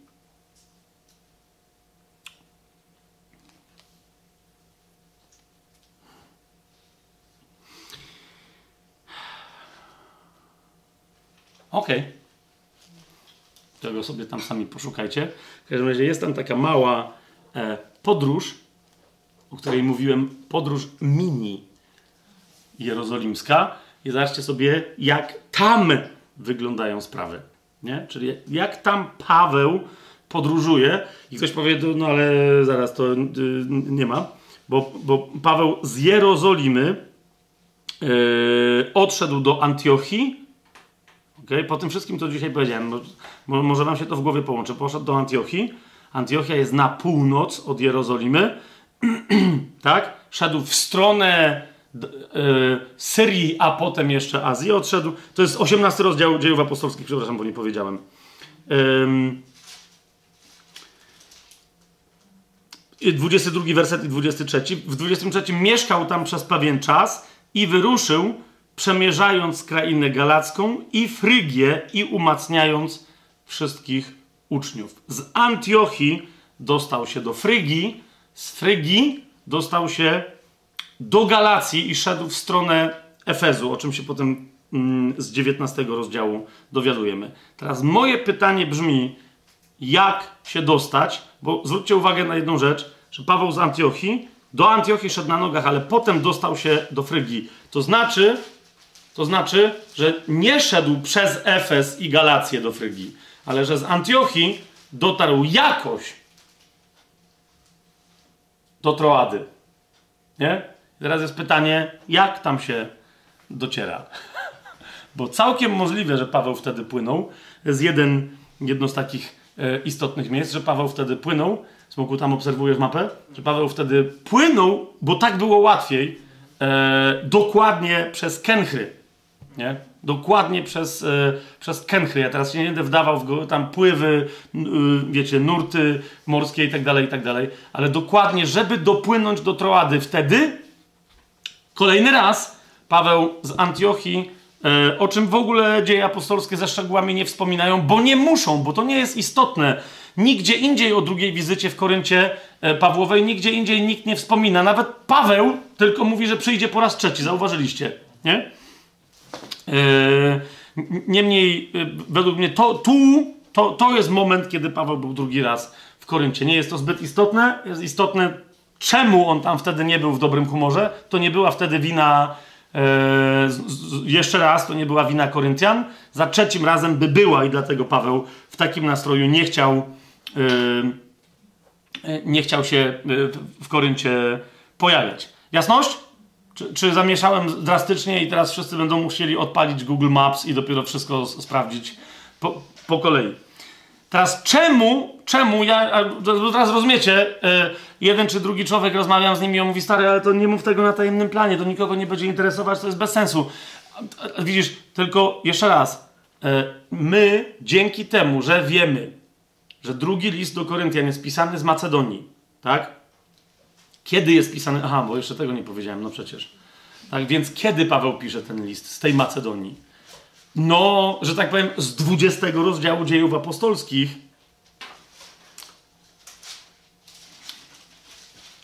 Ale, kochani, i mamy konkretnie precyzyjny moment pokazany z 20 e, e, rozdziału dziejów apostolskich, ale z pierwszego wersetu, zanim Paweł popłynął do Troady. No, udał się do Troady, bo co, jak on to zrobił, to jest, to jest drugorzędna kwestia. Otóż po rozruchach Paweł przywołał uczniów, pożegnał się z nimi i wyruszył dokąd? Do Macedonii. Z tejże Macedonii, po rozruchach w Efezie, według mnie, Paweł pisze w tym momencie, Paweł pisze, że teraz już przyjdzie trzeci raz i czytamy w drugim wersecie, przeszedł tamte okolice, udzielając wielu napomnień, a potem przybył do Grecji. Czy to jest jasne, co się tutaj dzieje? A potem przybył do Grecji. I ten plan, który Paweł, Paweł miał, żeby następnie e, e, Koryntianie wyprawili go do Jerozolimy, zauważcie, że dokładnie w tym momencie Paweł realizuje. Nie wiem, czy to widzicie. Tak? Kiedy się bo on potem wraca, już się nie, nie, nie, nie może wrócić do Efezu, ale przyzywa y, z tych Efezu starszych y, do Miletu. Y, mówi im wyraźnie, to jest 20 rozdział, 20, 23 werset, 22 werset, a teraz związany w duchu idę do Jerozolimy, nie wiedząc, co mnie tam spotka. Widzicie, o co mi chodzi? Paweł wtedy dopiero, i to jest dokładnie to, to musi być, czyli on musiał być po raz trzeci, czyli po e, napisaniu drugiego listu do Koryntian, musiał być w Koryncie. Kiedy? Drugi werset 20 rozdziału. Potem przybył do Grecji. Czy to jest teraz e, jakoś widoczne? Więc nie później, ale wcześniej. To nam pozwala to precyzyjne e, e, umiejscowienie w czasie i przestrzeni, skąd do kogo, jak, dlaczego Paweł pewne rzeczy pisze, to nam pozwoli zinterpretować, mm, czy inaczej, e, przyjąć pewne klucze interpretacyjne do zrozumienia, do właściwego zrozumienia i też do ucieszenia się treścią drugiego mm, listu do Koryntian Pawła Apostoła. Ok? Zanim. I to, I to jest na dzisiaj tyle. Teraz pozwólcie, że jeszcze jakieś półtorej godzinki poczytam Uczmanani. jeszcze jedna rzecz. Bo zanim pójdziemy dalej, bo teraz, wiecie, to będzie tak, na następnym spotkaniu, po co Paweł pisze ten list? Tak? W tej konkretnej sytuacji, po tych prześladowaniach i tak dalej, po co Paweł pisze ten list? Rzeczywiście on się tam odnosi do fałszywych apostołów, jest bardzo się tak yy, obnaża totalnie przed Koryntianami, nie? Yy, mówi o rzeczach, o których świadczy, że od kilkunastu lat jeszcze nikomu nie powiedział i im je zdradza. I to jest sensacja. Pytanie brzmi, po co w ogóle Duchowi Świętemu tego rodzaju wyznanie? On się nagle spodobało mu się, że Paweł tak bredzie i mówi, a namaścimy to, niech będzie natchnione, niech będzie mm, w Biblii?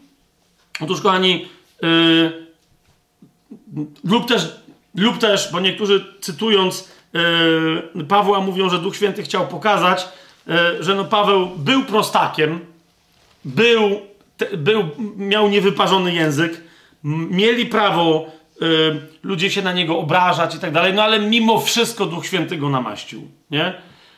Faktem jest, że w ramach tego swojego uzewnętrzniania pewnych swoich przeżyć, Paweł rzeczywiście mówi, że jest prostakiem w mowie, no tylko to jest jeden z tych elementów przyznania, że on wie, co się dzieje, a inni nie wiedzą, bo jeżeli ktoś mu zarzuca, że pewne rzeczy mówi zbyt wprost, zbyt codziennym językiem, to nie znaczy, to nie jest oznaka tego, że on nie ma głębokiego poznania, tylko chce być jak najlepiej zrozumiany. To jest drugi list do Koryntian, jedenasty rozdział, piąty werset i dalej. Paweł mówi: Uważam, że w niczym nie ustępowałem tym wielkim apostołom, których się pokazuje jako wielkich. I dalej czytamy, bo chociaż jestem prostakiem w mowie, to jednak nie w poznaniu. No i tak dalej, nie? I on mówi, to tylko ktoś głupi może mi zarzucić, że się posługuje kolokwializmami i tak dalej, bo rzeczywiście u Pawła to słychać często, nie? Ale on mówi, ja to robię tylko po to, żeby, żeby wam było łatwiej zrozumieć, a nie dlatego, że to jest płycizna mojego poznania, zwłaszcza, że ja wam w prosty sposób przedstawiam rzeczy, które są nadal przez wielu z was w ogóle niezrozumiane. Więc ogarnijcie się. Otóż, kochani, zanim pójdziemy dalej, powiem sobie, po co Paweł, dlaczego on się tak uzewnętrznia, czemu ten list tak naprawdę nie jest wcale chaotyczny, ale pokażemy jego wewnętrzną strukturę, bo według mnie to jest taki, nie wiem jak to nazwać, to nie jest za bardzo jakaś makatka niesamowita, bo tam jest, yy, to jest warkocz. Ok, to jest warkocz, to jest warkocz. Po prostu. Wyobraźcie sobie a dzisiaj w takich czasach żyjemy, że to kobiety sobie mogą wyobrazić, ale panowie, nie, kobiety nie chcą wyobrażą warkocz, gdzie tam sobie wyobrażą, a chłopy nie chcą wyobrażą warkocz wikinga na brodzie, nie? I ten warkocz się, no wiecie, no składa, z ilu tam się może składać? Z trzech, pięciu? Ja się nie znam, ale tam tych, jak się nazywają te poszczególne rzeczy na... Pasma, okej, okay, bo chciałem nazwać witki, ale to nie są witki. Okej, okay, no więc tych pasemek tam jest ileś i ty to tam potem zaplatasz. No, no trudno, żeby ktoś powiedział, że warkocz to jest wyraz chaosu. Rozumiecie, o co mi chodzi? To, to jest, tam jest konkretny porządek. A to, że tam są, wiecie, załóżmy, że każdy, yy, każdy z tych pasemek jest właśnie za, zabarwione yy, na inny kolor. No to wtedy powstaje ci tam pewna mozaika, ale ty widzisz logikę tej mozaiki, tak? Natomiast jak ktoś, kogoś interesuje tylko jedno to pasemko, i mówi, no nie, no dajcie spokój, mnie interesuje tylko to białe teologiczne pasemko, a go nie widzę, bo mnie się tu jakieś czerwone przeplato i jakieś brązowe, jakieś czarne. Wiecie o co mi chodzi? No to to jest prostackie, tak? Bo to, że całego pasemka białego nie widzisz, ale widzisz, że to nie jest posklejane z małych kawałków, tylko widzisz, że to jest pasemko, tak? Więc drugi list do Koryntian to jest dokładnie taki warkocz paru tematów, przez które Paweł, e, których dotyka, przy okazji jest tam kokarda też, naprawdę jest kokarda, na ten, chyba że, nie wiem, wikingowie nie mieli kokard, nie? Co nie mieli? Coś tam mieli, jakiś pewnie jakiś metal z jakimś żelazem albo kości. Coś tam mieli jakiegoś ozdobnego, ala wikingska kokarda. Więc jest tam też kokarda, ale teraz chodzi mi o to, że to naprawdę to jest tylko rzeczywiście bardzo duże, to jest objawienie dosłownie psychologii, wylanie duszy Pawła obnażenie jej przez Ducha Świętego.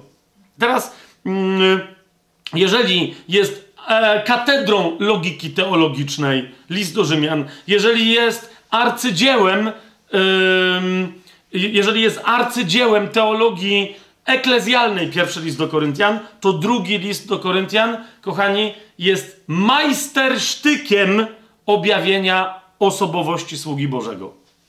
Ok? To jest majstersztyk. Teraz tylko musimy sobie i dlatego poczytamy sobie trochę Watchmana nie teraz. Bardzo się cieszę z tego powodu. Zawsze to lubię, kiedy mam Watchmana to zacytowanie. To jest fantastyczne! Po prostu. Fantastyczne. I nie mówcie mi, że się przez Watchmana... To jest fantastyczna lektura. A to, że niektórzy lubią czytać szybko, a Watchmana się nie da czytać szybko, no to co zrobić? Trzeba go czytać wolno. Albo czytaj szybko, dwa zdania i potem przejdź do szybkiego czytania następnych dwóch, jak już te ci siądą. Otóż, bo niektórzy powiadają, no ale po co po co, no po co, co jest takiego ciekawego w tym, że ktoś miał jakąś duszę? Przecież to jest bez sensu. Jest kompletnie bez sensu.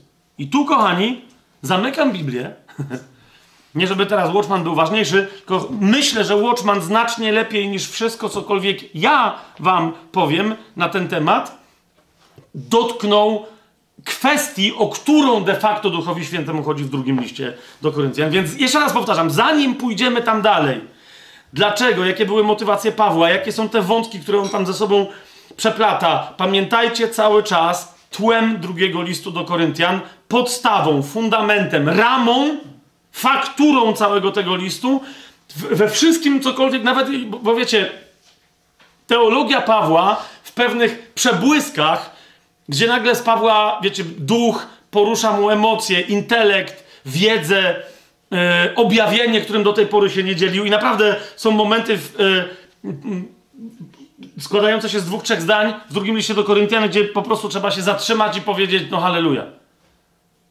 Nie, nie mielibyśmy połowy rozumienia pewnych rzeczy w Biblii, w dziele, dokończonym dziele Chrystusa bez drugiego listu do Koryntian, żeby to było jasne. Mielibyśmy, ale nie mielibyśmy tej głębi, którą dopiero drugi list do Koryntian nadaje. Tak? Piąty rozdział, dziesiąty rozdział drugiego listu do Koryntian. w kwestiach typu właśnie przepływ pieniądza w królestwie, przepływ dóbr materialnych w kościele. Ósmy, dziewiąty, dziesiąty. Szaleństwo, co się tam wyprawia. W sensie jasnej, konkretnej, nie tylko teologicznej, ale praktycznej i wiedzy, i zastosowania tej wiedzy w kościele, którego następ, które następnie jest wykrzywiane, bo każdy właśnie robi z tym, co chce.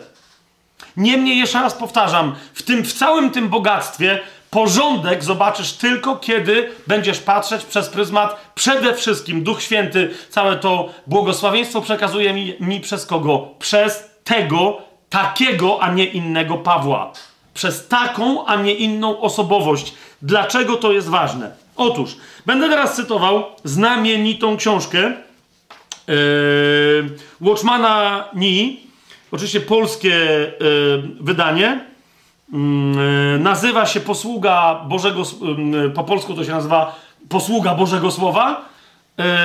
Ta książka to jest wydanie z 2006 roku. Mówię to dlatego, że nie wiem, bo może były jakieś inne. Wydanie pierwsze, marzec 2006, może były inne. W każdym razie w tym wydaniu będę teraz cytować najpierw ze strony 39, potem z jeszcze, potem z jeszcze jednej. Otóż, po pierwsze, dzisiejszy problem całego kościoła uniwersalnego wszędzie na świecie, Watchman Nee przedstawia, a potem mówi, jakie jest jego rozwiązanie, a potem jeszcze, podobnie jak i ja, E, I teraz nie chodzi mi o to, że, że jak, jakbym tu był jakoś istotny, tylko idzie mi o to, że wielu rzeczy się nauczyłem od Watchmana między innymi, ale akurat tego nie. Tym bardziej było mi przyjemnie znaleźć dokładnie takie same wnioski później u Watchmana na temat Pawła, ok? Ale 39 stronę cytam, otóż Watchman mówi, na czym polega dzisiaj problem w Kościele? I pisze tak. To bardzo przykre, że pomimo tak wielkiej ilości głoszenia, tak mało jest Bożego Słowa. To dzisiaj podstawowy problem w kościele. Zwróćcie uwagę, genialne dwa zdania. Mówi, jest bardzo dużo głoszenia. Dziś w kościele ludzi głoszących na bazie Biblii, cytujących Biblię i tak dalej, rozumiecie, są setki tysięcy, żeby nie, że pewnie miliony. A myślę, że dzisiaj tym bardziej, nawet niż na początku XX wieku, kiedy Watchman to pisał, widać ten problem. Tak? Włączysz sobie YouTube'a, i ludzie to robią, e, z całym szacunkiem przy tych miliardach cytowań Biblii, głoszenia Słowa Bożego prawie w ogóle nie ma. To, to ewidentnie, internet to tylko obnażył coś, e, co w duchu Watchman rozpoznał i napiętnował. A więc, mówi, to bardzo przykre, że pomimo tak wielkiej ilości głoszenia, tak mało jest Bożego Słowa. To dzisiaj podstawowy problem w Kościele. Bez usługujących nie ma natchnienia ani objawienia. W przypadku wielu ludzi jest tak, że im więcej głoszą, tym bardziej ich mowa oddala się od natchnienia, od przekazywania światła i od tego, co dałoby się nazwać objawieniem. A więc, gdzie leży problem, zapytalibyśmy, z tym, że tyle się głosi ze Słowa Bożego, a się prawie w ogóle nie głosi Słowa Bożego? Odpowiedź Watchmana jest, nie wiem dlaczego wciąż dla wielu ludzi aż taka sensacyjna. Otóż jego odpowiedź brzmi: problem leży po stronie kaznodziejów. Nie są oni takimi ludźmi, żeby Bóg mógł ich używać. Rozumiesz, to, że ktoś stanie, byle kto może otworzyć Biblię i w ramach głoszenia nic innego nie głosić, tylko czytać Słowo Boże. Rozumiecie, o co mi chodzi? To może być satanista, który tak zrobi. Ateista to może być prześmiewca e, hinduistyczny, który otworzy Biblię i będzie coś cytować, albo muzułmański dla śmiechu. Rozumiesz? I teraz co, Bóg ma się tym posłużyć i nie, my tego dokładnie tego nie rozumiemy.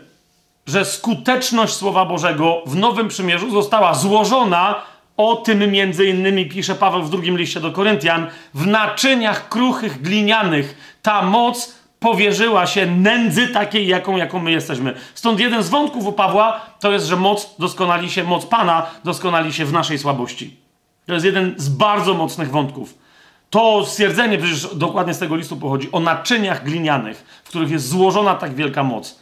O, o, o no. Więc Watchman kontynuuje, Bóg nie może używać takich ludzi. Nie chce mówić natomiast sam. To jest geniusz Nowego Przymierza. To jest geniusz zamieszkującego w nas ducha, usługującego przez nas Ducha Świętego.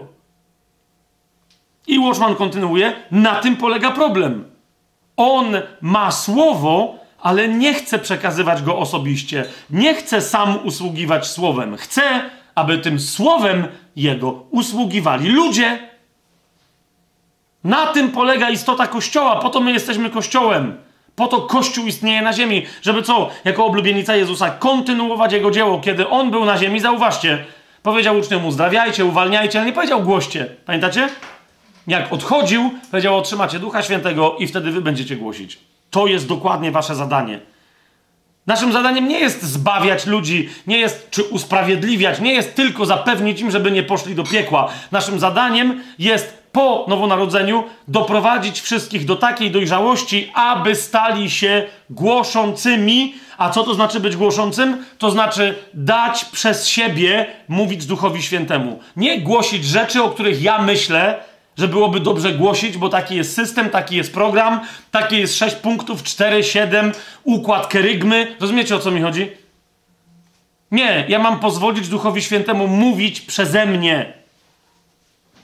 Między innymi drugi list do Koryntian jest tak schaotyzowany, bo Duch Święty pokazuje, jak to jest, kiedy On mówi przez kogoś. I Duch Święty mówi, no i co? I ty to nazwiesz z punktu widzenia formalnego chaosem, a każde słowo tu wypowiedziane jest moje jest natchnione i znajduje się w Biblii. A twoje gdzie są? Dalej pisze Watchman.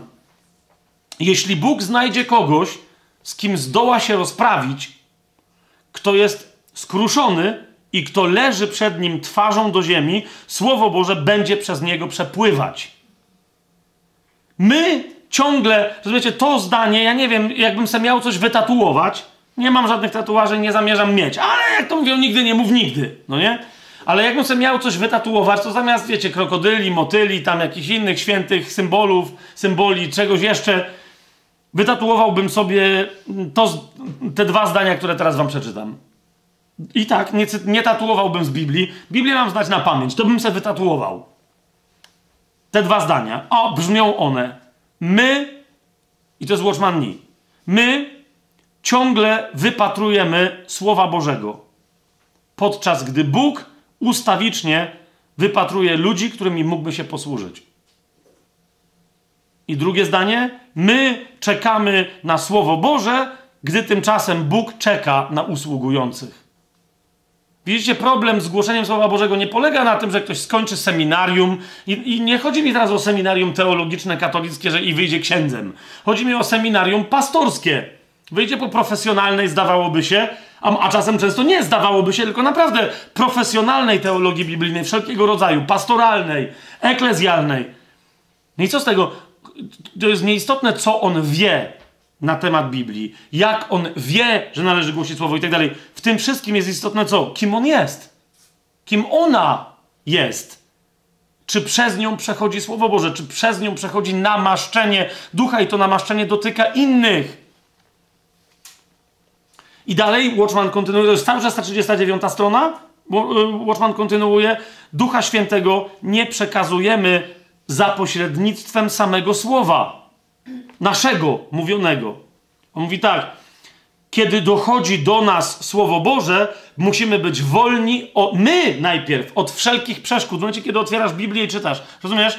To Słowo dociera do ciebie. Mówi, my musimy być wolni od wszelkich przeszkód. Musimy, co to znaczy? Musimy być skruszeni i nosić piętno krzyża. Ja już nawet nie będę teraz tego rozważać, były inne momenty. Na początku pierwszego listu do Koryntian, pamiętacie, myśmy rozważali, co to znaczy, swoją drogą też cytując wtedy Watchmana, co to znaczy nosić piętno krzyża.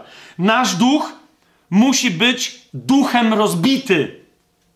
To znaczy, że Duch Święty, rozumiesz, Duch Święty ma przyjść i ma dalej. Tylko takich ludzi Bóg może użyć i tylko przez takich ludzi popłynie Duch Święty. Ja teraz cytuję posługę Bożego Słowa, ale jest rzeczą jasną, aż się prosi, żeby przywołać inną książkę e, Watchmana Nee, która się nazywa Skruszenie zewnętrznego człowieka i uwolnienie ducha. To, o czym tu on mówi pokrótce, tam jest cała książka, nie jakaś bardzo duża, no ale dosadna na temat tego, jak przez człowieka ma popłynąć duch. To się może dokonać tylko przez skruszenie zewnętrznego człowieka, przez właśnie dotknięcie tego, co w nas duszewne i poddanie duszewności pod duchowość, tak? Która jest zgodna z Duchem Świętym we mnie. Jasne to jest? Widzisz, teraz chodzi mi o co? Taka du duszewność, która została skruszona, swoją drogą drugi list do Koryntian dokładnie, tam Paweł cały czas mówi, jak bardzo jest wolny przez to, że jego człowiek zewnętrzny jest skruszony. I dlatego płynie przez niego duch. Ale myślę, że poka- jak, jak, bo wiecie, pis, pisał, pisał Watchman, ale, ale jakbyśmy nie mieli Watchmana, skruszenie zewnętrznego człowieka i uwolnienie ducha, to co byśmy mieli w Biblii? Drugi list do Koryntian. Tylko nie czytany, co tam Paweł, na, co Paweł napisał w drugim liście do Koryntia na temat usprawiedliwienia, dzieła krzyża, Trybunału Chrystusowego. Rozumiesz, to jest cały czas doszukiwanie się perełek teologicznych, ale pytanie brzmi, jako kogo Duch Święty przedstawił Pawła w tym liście? Bo go zmusił dosłownie do tego, żeby napisał o sobie to, co. Zresztą nawet Paweł pisze, a Duch Święty uśmiechnięty mówi: pisz to, pisz, bo tak jest, no nie? Bo Paweł sam pisze w drugim liście do Koryntian parokrotnie, że on nie wie, co się dzieje. I on mówi, to by było szaleństwo, gdybym się miał przed wami zacząć chwalić. Po czym zaczyna się chwalić i mówi, no i widzicie, do czego mnie doprowadziliście, że się chwalę, a to jest przecież szaleństwo. Po czym mówi, ale to jest dobre szaleństwo, bo zdaje się, że to jest dobre szaleństwo. Rozumiesz, i tak, jest non-stop. Duch Święty go tam ewidentnie przemusza po to, żeby nam pokazać, rozumiesz, tak wygląda, tak chcę, żebyś ty wyglądała, żebyś ty wy... Nie, żebyś miał te same objawienia, co Paweł, ale ten sam stan duszy w duchu. Y, I cytuję dalej Watchmana: Jeżeli Duch Święty jest w nas zam zamknięty, przeszkodą i zaporą jest nasz zewnętrzny człowiek, nasze uczucia i nasze nastroje. Kiedy takie rzeczy są w nas obecne, z pewnością Słowo Boże nie może przez nas przepływać. Nawet jeśli wygłosimy wspaniałe kazanie, w rzeczywistości będą to tylko słowa, nauki i doktryny, nie będzie tam natomiast Bożego Słowa. Czy to jest. Tak, bo ja nie chcę, dlatego czytam tego Watchmana i po prostu aż się tu gotuję, żeby jeszcze go dokumentowywać, ale myślę, że to jest dosyć jasno sformułowane. Teraz drugi list do Koryntian to jest demonstracja takiego człowieka. Czym się różni duchowy apostoł Paweł od duszewnych, głoszących może i piękne rzeczy, ale nie przekazujących życia w duchu innych fałszywych apostołów? Tak? I teraz yy, na sam zupełnie koniec, ze strony 63, zacytuję. Yy, bo tam na tej 63 stronie, yy, w, w, rozdziale, który się nazywa, w części całej tej książki, która się nazywa Szczyt posługi słowa, yy, jako ten szczyt właśnie Watchman pokazuje Pawła. I on mówi: Bogu dzięki, że, że chciał nam to pokazać u Pawła. I, i w ten sposób ym, to komentuje. Yy, mówi, że Duch Święty, kiedy pracuje nad człowiekiem, to nie jest tak, jak nam się wydaje, że przychodzi i nas rozwala. I to jest skruszenie zewnętrznego człowieka. A mówi, nawet jak się tak stanie, że rzeczywiście powiemy, dobra, zewnętrzny człowiek won, to wewnętrzny człowiek mm, nie od razu, to, że masz ducha, że ale on się przelewa przez twoje serce, przez twój umysł, one muszą się odnowić, to znaczy muszą być dojrzałe. Więc bardzo ciekawie mówi, że Duch Święty wykonuje w człowieku dzieło grawerowania, budowania i konstytuowania. Wow! Ja nie będę nawet, wiecie, tyle, te, te grawerowania, budowania i konstytuowania. Nawet fizycznie nasz charakter musi być utrwalony. Na tym charakterze mamy mieć wygrawerowane pewne rzeczy. Więc tatuaże, którzy sobie robią, halleluja, ale rozumiesz, teraz tatuuj, daj Duchowi Świętemu, bo jest najlepszym tatuażystą, wytatuować sobie coś na duszy. Hmm? Y, Paweł regularnie mówi, że on nosi takie znaki nawet na swoim ciele, które traktuje jak właściwe tatuaże, piętna ran Chrystusowych itd., tak itd. Tak I teraz, y, kontynuując, ja tu robię przerwy, bo tu jest cały akapit, ale tylko jedno zdanie przeczytam.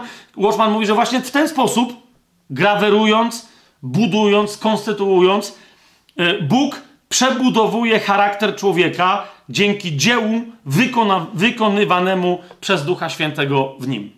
O co więc idzie? O przebudowanie charakteru człowieka. Tak? On jakoś musi. I to rozumiesz? I teraz, jak niektórzy mają te wyobrażenia, yy, no, że wiesz, jak ma wyglądać taki człowiek, to zazwyczaj po kościołach tworzy się wredną, niebiblijną, niezgodną z yy, obrazem Bożym pseudohagiografię. Czyli wiecie, opisy żywotów świętych nie? I pokazywanie ludzi, nawet takich, którzy naprawdę mieli przemieniony charakter i powinni być wzorami, to co się dzieje? Wiecie, tak, tak jak w kościele, w, w kościołach protestanckich ogólnie i tak dalej się nie robi obrazków, nie? Ale jakby słownie maluje się portrety wzorów, tak jak w kościele katolickim się maluje dosłownie portrety świętych, tak zwanych, tak? Czyli wiecie, co się dzieje. Jakieś takie coś, wyciągnięta twarz, nie? Złożone rączki, oczy zapatrzone, gdzieś nie wiadomo w co, nie?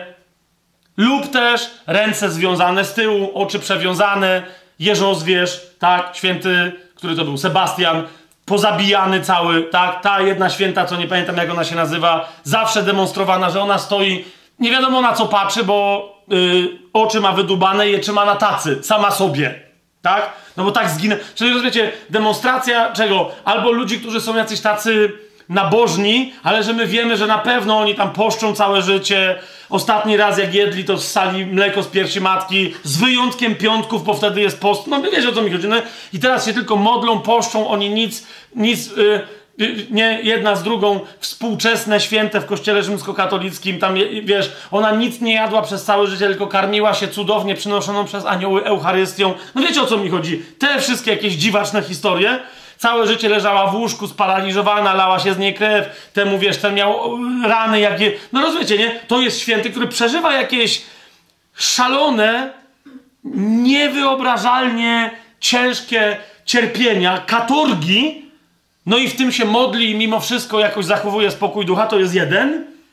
Albo ktoś drugi no żył jak żył, ale chociaż umarł jak męczennik. To jest, to jest coś takiego, nie? I teraz chodzi mi o to, że my, no jasne, że nie robimy takich, bo y, w protestantyzmie nie ma żadnych tam, prawie żadnych y, rodzajów zakonnic, czy księży, czy jakichś tego typu rzeczy, ale jak już kogoś dajemy za wzór, no to wiecie, co się wtedy dzieje. To jest dokładnie ten wzór, nie?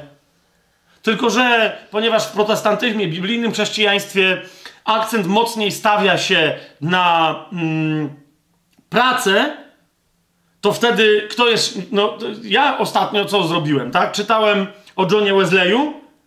No i to właśnie to jest dokładnie to. Jakby, wiecie, Chciałem podkreślić, ale ja wiem, co się potem stało. Potem nikt nie pamięta, jak się nazywało to kazanie, którego wcale Wesley nie wygłosił konkretnemu człowiekowi, tylko było nag na, na, nagrane, yy, wydrukowane i ktoś je przeczytał i Duch Święty działał przez to kazanie. To nie, ale wszyscy pamiętali, ile razy okrążył na koniu yy, i że na koniu to się ciężko jeździ, a więc jak, ile kazań, ile kazań, nie czy one, wiecie, miały oddziaływanie, ale ile, jak ciężko Wesley się napracował. Więc to jest połączenie, rozumiesz, tego Sebastiana ze szczałami. Cierpiał całe życie i na końcu umarł. I jest więc John Wesley.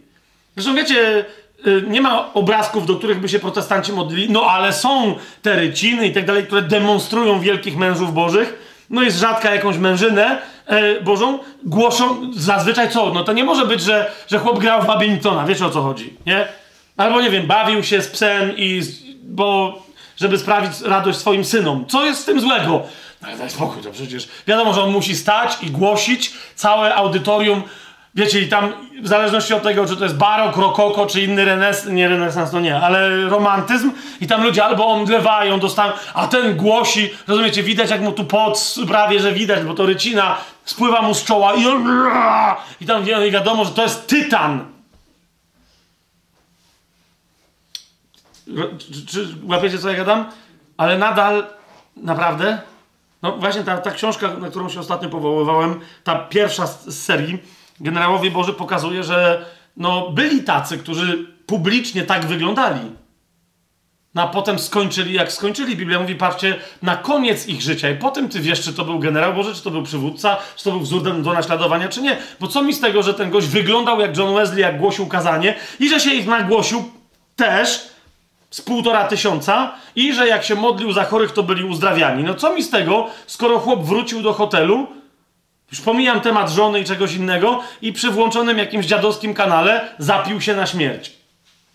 Zresztą, no co mnie to obchodzi? Co mnie to obchodzi, że chłop tam coś głosił i, i, i czemu mnie to nie dziwi, że po całej tej usłudze nie zostało nic? Nie zostało absolutnie nic. Mówią, ale były tysiące ludzi. No tak, tylko że tysiące ludzi zazwyczaj, którzy przyszli, chrześcijan, którzy się pozlatywali ze zborów, w których było nudno. Dzisiaj jest tak samo. To jest prawdziwy ewangelista, głosi i nawracają się ludzie z ulicy. Tak? Jak kończy swoje życie, wszyscy wiedzą, że Pan przez niego działał, bo po owocach go poznają, mogą pokazać te owoce. Jeżeli czyimś owocem jest tylko to, że fantastycznie głosił, Rozumiecie? Między innymi o tym pisze Paweł w drugim liście do Koryntian. Cały czas mówi, wy jest, mówi, ja? Że ja fantastycznie głosiłem, to ja jestem prostakiem w mowie i to mi dokładnie zarzucają. Super. Tylko, że oni głoszą fantastycznie i pytam się, gdzie są ich listy na sercach napisane ludzkich? A wy jesteście moim listem. Co o tym nie wiecie? Nie pamiętacie o tym? Więc mówi, jak ja stanę przed Panem, to mu nie powiem, Panie, czy nie głosiłem w Twoje imię wspaniałych kazań? Panie, czy w Twoje imię nie uzdrawiałem? Zauważcie, Paweł nigdy się na to nie powołuje. Mówi, ale ludzie, którzy przylgnęli do Chrystusa, dojrzeli do tego, żeby innych rodzić do Chrystusa. To jest list, który pokaże, nawet nie ja, Chrystus mi go pokaże. Ja wiem, co się stanie. A wiecie, co, co, co jest grane? Więc to Bóg przebudowuje charakter człowieka dzięki dziełu wykonywanemu przez Ducha Świętego. I w momencie, kiedy to się dzieje, przez takiego człowieka, cokolwiek by on nie robił, działa duch, ludzie się nawracają, dojrzewają w wierze, postanawiają coś. Wiecie, po prostu działa duch. Przychodzi to wszystko, co jest życiem, które płynie. I na tej 63 stronie o tej pracy Ducha Świętego Watchman mówi, rezultatem tej pracy jest nie tylko u innych ludzi, ale mówi, jest zmiana naszego charakteru. Jeżeli zmienia się Twój charakter, to wiesz, że Duch Święty w Tobie pracuje i wtedy tym im bardziej On pracuje, tym bardziej Twoje życie. Nie musisz być kaznodzieją, który głosi do nie wiadomo, do milionów e, przez telewizję. Tak, ale Twoje życie zaczyna innych dotykać. Po tym wiesz, że zmienia się Twój charakter. Nie po tym, że ktoś Ci powie, mmm. Ostatnio miałem taką rozmowę, dwie osoby do mnie przyszły zupełnie, które mnie nie widziały przez parę lat, a tylko mnie obserwowały na YouTubie, jedna chyba nawet nie za bardzo. I dosłownie w ramach jednego spotkania dwie osoby do mnie przyszły i jedna mówi Fabian, kiedyś to byłeś taki kozak. Nie pamiętam tego, no ale okej, okay, kiedyś to byłeś taki kozak taki, wiesz, nie? Strasznie złagodniałeś. I to było oskarżające. Trochę. To było trochę takie, żałuję ten stary Fabian był w moich oczach, oczywiście, nie? Ten ktoś powiedział, ten, ten stary Fabian był fajniejszy, nie? Teraz jakiś taki, taki jesteś miękki, taki łagodny, taki, o mój Boże, nie? Myślę, co zrobić? Ale dosłownie tego samego dnia, na tym samym spotkaniu, podchodzi do mnie inna osoba i mówi, Józef Fabian, ludzie mówią, że się zmieniłeś na tym YouTube, że coś tam się stało. No i teraz tak patrzę na ciebie, widzę, że się zmieniłeś, ale nie wiem, czy na lepsze. Strasznie ostry jesteś. Kiedyś było lepiej, jakoś tak, wiesz, ważyłeś słowa, a teraz w ogóle się nie zastanawiasz. Wie, wiesz, o co mi chodzi? No i to jest takie, mm, mm. Widzisz, sęk w tym, że nie ty jesteś sędzią mojego charakteru. Paweł to jest jedna z tych rzeczy w drugim liście do Koryntian, w pierwszym też zresztą, ale w drugim też to mówi, mówi, chcecie to mnie sądźcie. Mówi, ale ja sam siebie nie sądzę. Dlaczego? Bo mówi, jak się spotkamy z Panem, to się wtedy okaże. Wtedy zobaczysz, Jeżeli ty mówisz, że czyjś charakter, że przyjrzyj się swojemu charakterowi. I teraz ty powiesz, no tak, no bo ja teraz. Rozumiesz, są ludzie, którzy twierdzą, że zmienili swój charakter, bo się opanowali i przestali e, przeklinać w obecności innych ludzi, na przykład. Nie? I oczekują, że ktoś to zauważy i powie: Mmm, dojrzałeś twój charakter, jaki, jaki jest Boży charakter. Przestań! Przecież to jest hipokryzja kompletna. Nie? Bo jak myślisz, że nikt nie słyszy, ja kiedyś z jednym takim gościem rozmawiałem, nie? który dokładnie mi świadczył i pytał, czy on nie może. No już potem mówię, stary. Nie? Bo jak myślał, że nikt nie słyszy, a se grzmocił, bo, bo przechodził obok ławy i se walnął nogą, piszczelem, rozumiem? Jak tam siarczyście się wypowiedział na temat ogólnej rzeczywistości wszechświata, no tylko on myślał, że nikt tego nie słyszy, nie? A nie wiedział, że ja jeszcze zostałem w budynku, bo po wszystkich rozmowach chciałem skorzystać z toalety i jak on zaklął, tak ja wyszedłem z zawinkla i mówię charakter! Respekt! Potem odbyliśmy poważną rozmowę. Fabian, to było wyjątkowe, ale stary, ale weź się uspokój, no nie? Przecież ja, ja ci coś mówię, tylko Wiesz chodzi, nie? Może zaczekaj z tą swoją zmianą charakteru, i z, a zwłaszcza ze świadectwem na temat tej zmiany charakteru, tak jeszcze ze 2-3 lata, nie? I może, jak już zobaczysz, że se znowu walniesz piszczelem w ławę, e, czy nie wiem, młotkiem w palca, czy, niech cię Bóg broni, ale no jeżeli, i jak wtedy nie zaklniesz, to wtedy zacznij rozważać kwestię, czy rzeczywiście przestałeś przeklinać. Rozumiesz, o co mi chodzi? Więc, więc, po tym rozważaniu z 39 strony, jak Watchman mówi, no właśnie, tu mówi, to jest dzieło, które tylko Duch Święty może w tobie wykonać, żeby potem przez ciebie dotykać innych. Uwaga, to jest ostatnia, e, mm, to jest konkluzja dzisiejszego naszego spotkania. Watchman mówi, Paweł służył jako usługujący Słowem Bożym, nie tylko dlatego, że pozwalał duchowi swobodnie przez siebie przemawiać. Chociaż zauważcie, samo to w sobie to jest geniusz. Tak? Mówi, ale nie tylko dlatego. Uważajcie, mówi, duch wziął właściwie w posiadanie cały jego charakter. Duch wziął w posiadanie cały jego charakter. Owoc ducha w boskiej trójcy to właśnie to, co on wytwarza w charakterze człowieka. Owoc ducha, owoc ducha następnie zdradza owoce na zewnątrz, poza tobą. I jeszcze raz powtórzę, Watchmana Paweł służył jako usługujący Słowem Bożym nie tylko dlatego, że pozwalał duchowi swobodnie przez siebie przemawiać, duch wziął właściwie w posiadanie cały jego charakter. I dokładnie ten moment, kiedy cały charakter Pawła, po zwłaszcza prześladowaniach w Efezie, kiedy Paweł, kolejny raz zresztą, ale kiedy Paweł tam, rozumiecie, tam jemu się, to jest to, o, o czym on na początku drugiego listu do Koryntian pisze. On mówi, myśmy mieli w sobie wyrok śmierci. Wszyscy. No i mówi, to nie było, rozumiecie, że on myślał, że no tu jest ostro i może zginąć. On był pewny, że, że zginą. On był pewny, tylko nie wiedział jak. Duch Święty to był dla niego moment do kruszenia zewnętrznego człowieka u Pawła, ostatecznego, od którego to momentu Paweł, cały jego charakter, rozumiecie, jest jednostkowym charakterem Ducha Świętego. Jest jednostkowym charakterem Jezusa. Dlatego potem w liście do Galacjan 2:20 przeczytasz: Z Chrystusem jestem ukrzyżowany, wyznanie Pawła. Już nie ja żyję, ale żyje we mnie Chrystus. On naprawdę, to jest jego odkrycie. To jest jego odkrycie. I o tym właśnie przede wszystkim jest drugi list do Koryntian. Te poszczególne rzeczy to są rzeczy o tym, jak wygląda charakter kompletnie przejęty przez Ducha Świętego, jednostkowego człowieka. Nie chodzi o to, że ty masz dokładnie odwzorować Pawła, tylko rozumiesz, masz zobaczyć pewne cechy charakterystyczne, walory charakteru, który jest przejęty przez Ducha Świętego i następnie zastanowić się i zapragnąć, żeby twoje doświadczenie życiowe, cokolwiek by z sobą nie niosło, zamieniło się w coś tak genialnego, jak charakter Pawła, obnażony dla naszego dobra przez Ducha Świętego w drugim liście do Koryntian. Mówię wam, drugi list do Koryntian to są trochę wertepety, ale tylko i wyłącznie dlatego, że jak poprzednie listy były, mm, wiecie, to, to była najpierw symfonia, muzyka poważna, potem najlepszego rodzaju harmonijny i harmoniczny, a nie a a nie A, harmo, e, prawdziwy jazz, no to było to. List do Rzymian, Beethoven.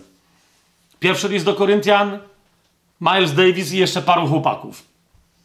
Drugi list do Koryntian, hardcore. Dlatego, że tu nagle, rozumiesz, tu się chodzi... Słucham? Nie, nie, nie, hardcore. System of a Down to jest cały czas uporządkowana rzecz. Tu będzie, to jest hardcore. Z początku może to wyglądać na hałas, pomieszanie stylów, gatunków, ale, ale zobaczysz w tym, zobaczysz w tym, że rozumiesz, chaos, chaos widzi tylko ten, kto sam w sobie ma chaos.